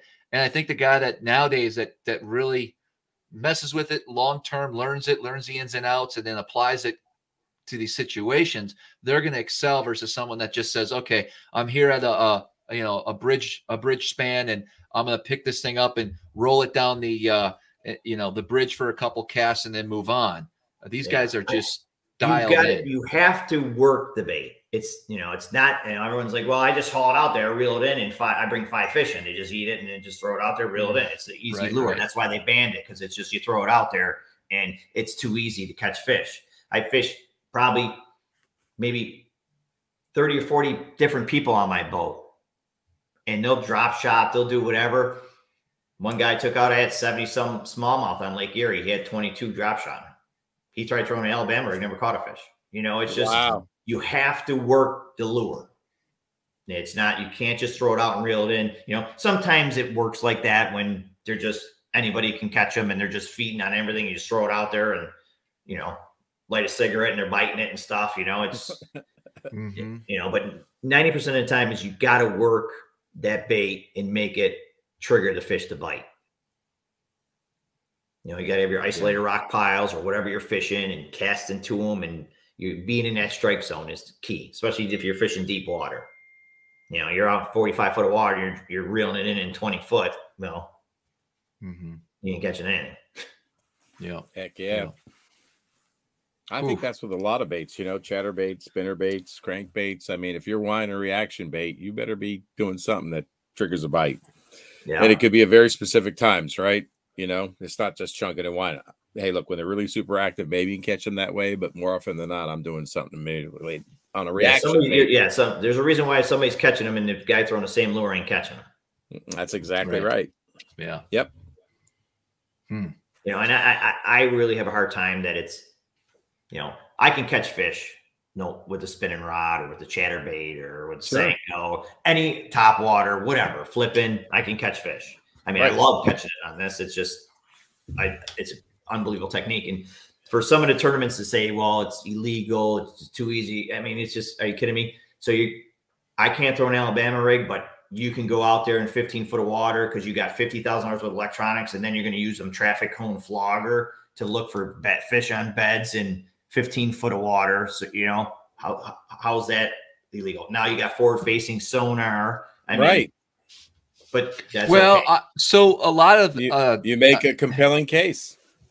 I don't. Yes, I I think it should be legal everywhere. However, I do find it. uh I guess it, let's say we show up to Erie in the fall, and I'm going up against you, right?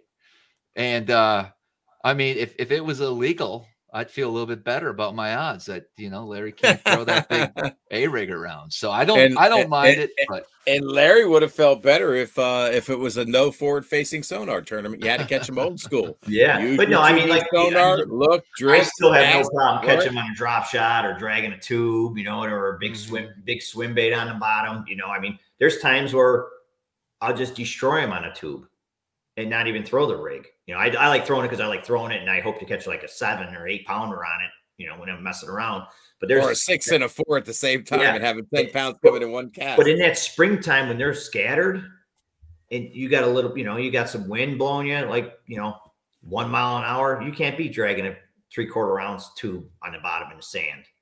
I mean, just catching giant fish after giant fish, you know, it's funny, but so, you know, I'm pretty versatile. It just, just a technique that I like to catch them with. What would be your second favorite way to catch them? Good question. drop shot. Drop shot. Yeah. Yeah. That was music to Travis's ear. Drop shot. He Yeah. loves that drop shot. I'm a, I'm a spinning rod guy. Yeah, man. And I got I got six NRXs and six Daiwa Steez reels. So I'm serious about my drop shot. Mm-hmm. Wow. That's what I'm talking about. Yeah. That's for real right there. That's like having six NRXs and six Stellas. Yeah. Stella. Wow. Oh, good show tonight, guys. Heck Larry, we yeah. appreciate you coming on. A lot No of good problem. information. This is good stuff. I'll come on anytime you want. Heck yeah. I'm coming out. Anytime you need, anytime you want. There is nothing like sweep setting on a big fish, man. I'm sorry. That's one of my favorite hook sets. I just like, oh man. I mean, nothing like it, man. I Especially with a heavy tackle like that, 20 pound line, big rod. Oh yeah, yeah. If I'm square billing and and cover cranking, man. I mean, I caught a I don't know a four seven three this weekend. That was my first fish of the morning. I sucked the rest of the day, but uh, I was trapping some some some rock, you know, and worming that rattle trap through, and I popped it over a rock and she went boom, and I went, mm, and man, just manhandled her in. This was on 17 pound shooter. I love that. Another a thing with the swim baits too, real quick, is Yep. I like the Keitechs because they're a streamlined swim bait. You know, you get a lot of the paddle tail swim baits that have that belly. Mhm. I just I've never had good luck with, you know, those those Mm-hmm. like belly type swim baits and stuff. I just uh, any of this real streamlined swim. I mean, it, you can't go wrong with a Keitech. I mean, it's just it's got that scent to it, and they they run good. Yeah, I you know. agree. I ain't sponsored by Keitech or nothing, but they're just that's the best I've ever found. can't argue with it. Mhm. Perfect. All right, we should make a couple announcements before we wrap up, guys. Next week, Monday, uh, Jason Gramada, Ontario. He's actually been on the uh, the podcast as well last year. He's going to be coming on talking a little bit about some uh, river fishing for smallmouth, deep, deep, big water. He fishes the St. Lawrence, but a lot of lot of areas way east of some of the places that we fish. I know he's going to talk a little bit more about uh, football jigs, deep water football jigs, as well as using underwater cameras. So that's going to be a good, great episode. Uh, on the 18th, we got Nico Bates uh, stopping by. Uh, Scott's going to give us a, a little rundown of some new plastics that are coming out. And then on April 25th, I'm gearing up for the big VIP members only show. I'm going to give the juice when it comes to. I, I got my list started here. Whoa. Uh, Hopefully nobody screenshotted that.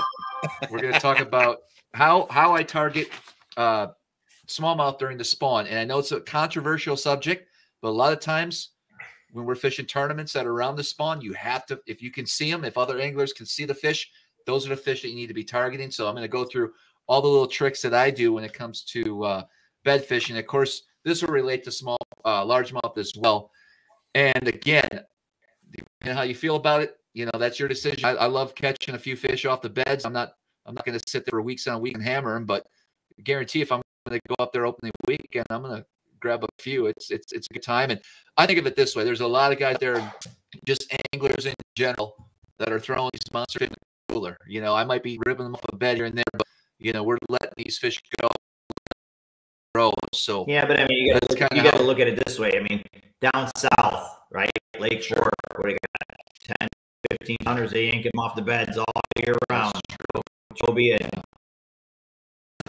Catching 12 pounders, so it's not hurt. Obviously, it's not point. hurting. yeah, You know, I'll say this that about that. I You think if- guys, the, the New York fisheries are just world class. There's oh, nothing oh, like yeah, hands there's down, nothing like it on the fish in world. planet. I mean, Yeah. when, when gobies came in, the, how fat those fish got, it's just it's insanity. Yeah. It's insanity. Well, the that goby hurt there. Oneida though. Did it really? Why? Yeah. It uh well the fish stay on the bottom now. Oh, you mean it fishes differently? Yeah, like a so like a blueback herring, like like It hurts, it hurts guys like uh, that one to throw an A rig around all day long, right? Yeah, you just got to know where they're at. But I mean, you before you used to whip down Oneida Lake and look and see a bunch of terns diving. You shoot over there and it's lights out. Wow. Well, they're not. Mm-hmm. I think I don't know if it hurt the gizzard shad. There's not as much shad, or there's too many walleye in there that are eating the gizzard shad.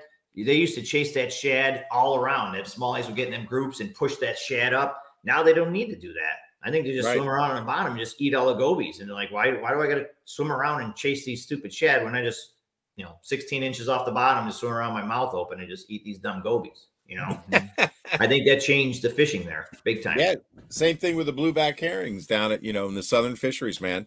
Those largemouth now are just nomadic and they just chase those high protein bluebacks, man. They they have changed their behavior. They're still fish shallow, but for the guys that used to fish there, that used to catch them a certain way, it has completely changed the game. Yeah, completely gotta, changed the adapt.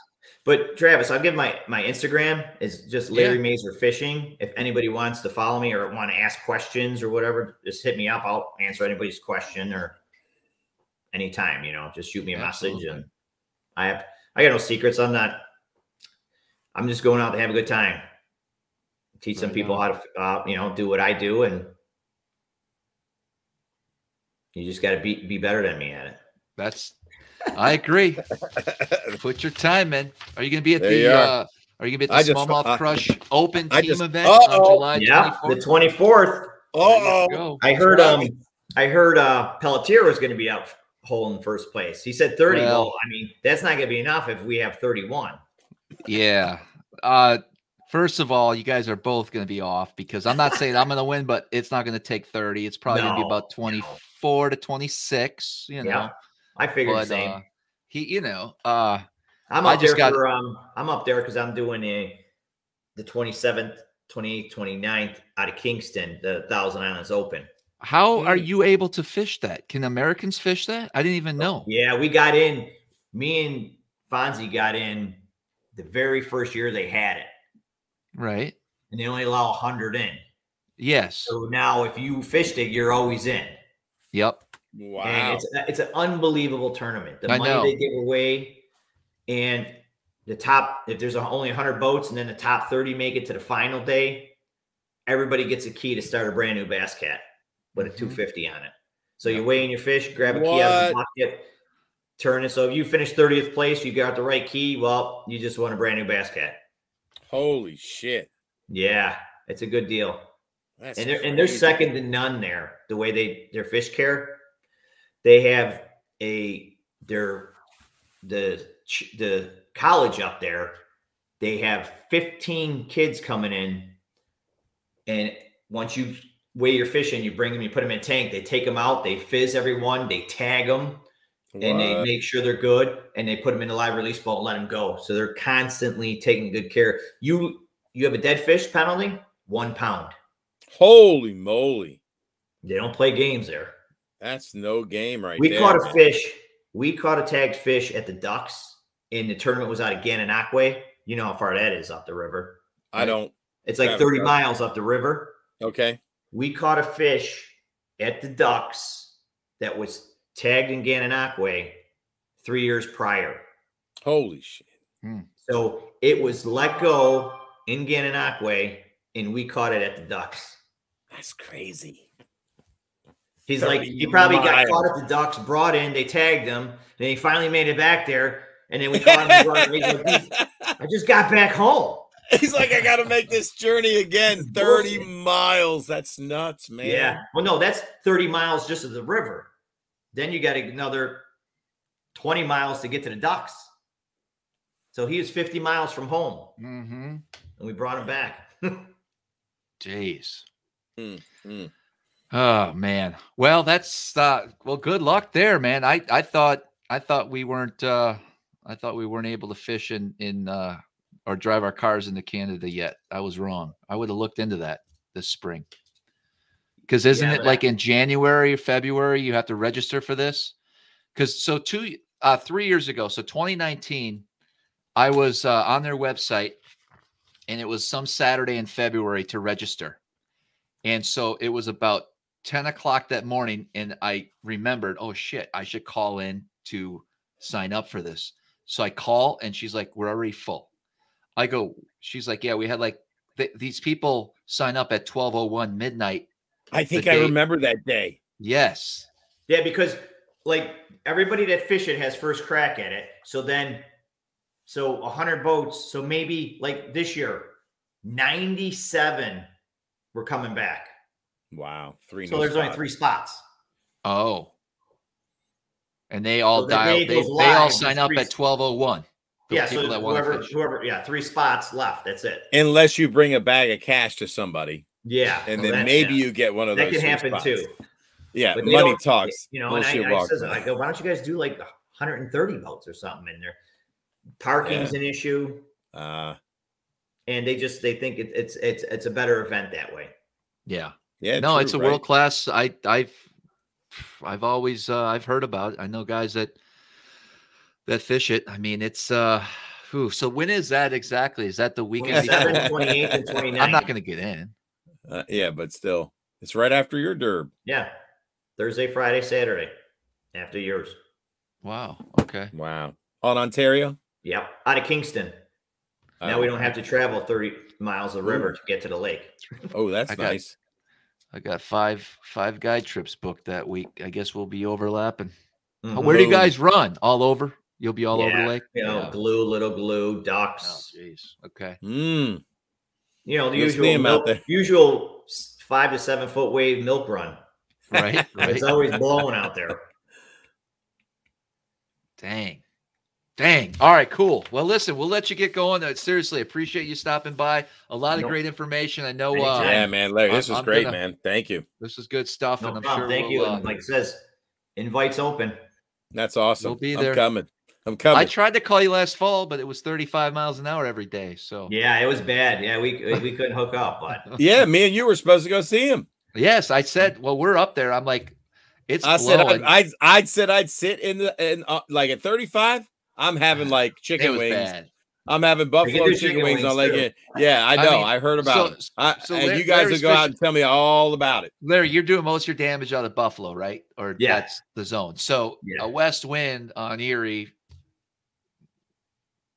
I mean, it Not could be good. brutal there. it's well, okay. 10 to 15, you got three footers. Right. West, southwest. 10 to 20, you're gonna have fives. Southwest mm. or west, northwest, you know. Mm-hmm. You're gonna have fives, which is it ain't bad. I mean, I do. I mean, I I had to get used to it because every time I would go down when I first started fishing, every time I go down to the lake, it's three footers, four footers. You you'll never go fishing. So now it's just like three, Go four fishing. footers is just regular day. Yeah. Wow. Yeah. You know, Wow. it's I, I, now I'm always my my in laws live right at a condo right overlooking the lake, and they'll be like, call my wife, and they'll be like, "Is him and Vincent out fishing today? The water's coming over the wall." They're like, "They're like, yeah, he's out there." You're the only ones out there. Water's coming over the wall, and you got to know how to drive in it too. Plus, I got, I mean, I got the best boat ever, but you Sure. still need to know how to drive in it and respect that lake. right on. It'll tear you up. Say we're Ontario. Right on. Yeah. I don't mind it. I don't mind it. The only thing it does do is if you if you make a wrong call in the area or zone that you want to fish, Yeah, you don't have a lot of options to be like, oh, let's go over here now. You know, you're yeah. Kinda- you live and die by it. You make a long run. You know, that's like Mhm. sometimes I was running down almost towards Barcelona. You make that run, Mhm. you're the hero or zero Mm. yeah. because you can't recover. You're like, oh, I'm gonna go over here now. Mm-hmm. Very true. All right, Eric, True, you got true. anything else? Man, no, this was awesome. Larry, you, you rocked it, man. Thank you. Thank you so much. Good Anytime. stuff. Good stuff. Everybody really enjoyed the stream. Great positive comments coming Good. through, man. Very Yeah, good. I think Yes. we got I think we got to all the questions too, man. Good job, Travis. Good. I Like I, said, tried. anybody can hit anybody can Ah, hit me did good tonight. Uh, uh, Yeah, absolutely. Heck yeah. I just gave you a follow, man. Thanks, man. You got it. All right, let's All right. uh wrap this thing up. Larry, thanks again. And as always, guys, until next time, we'll see you on the water. Okay.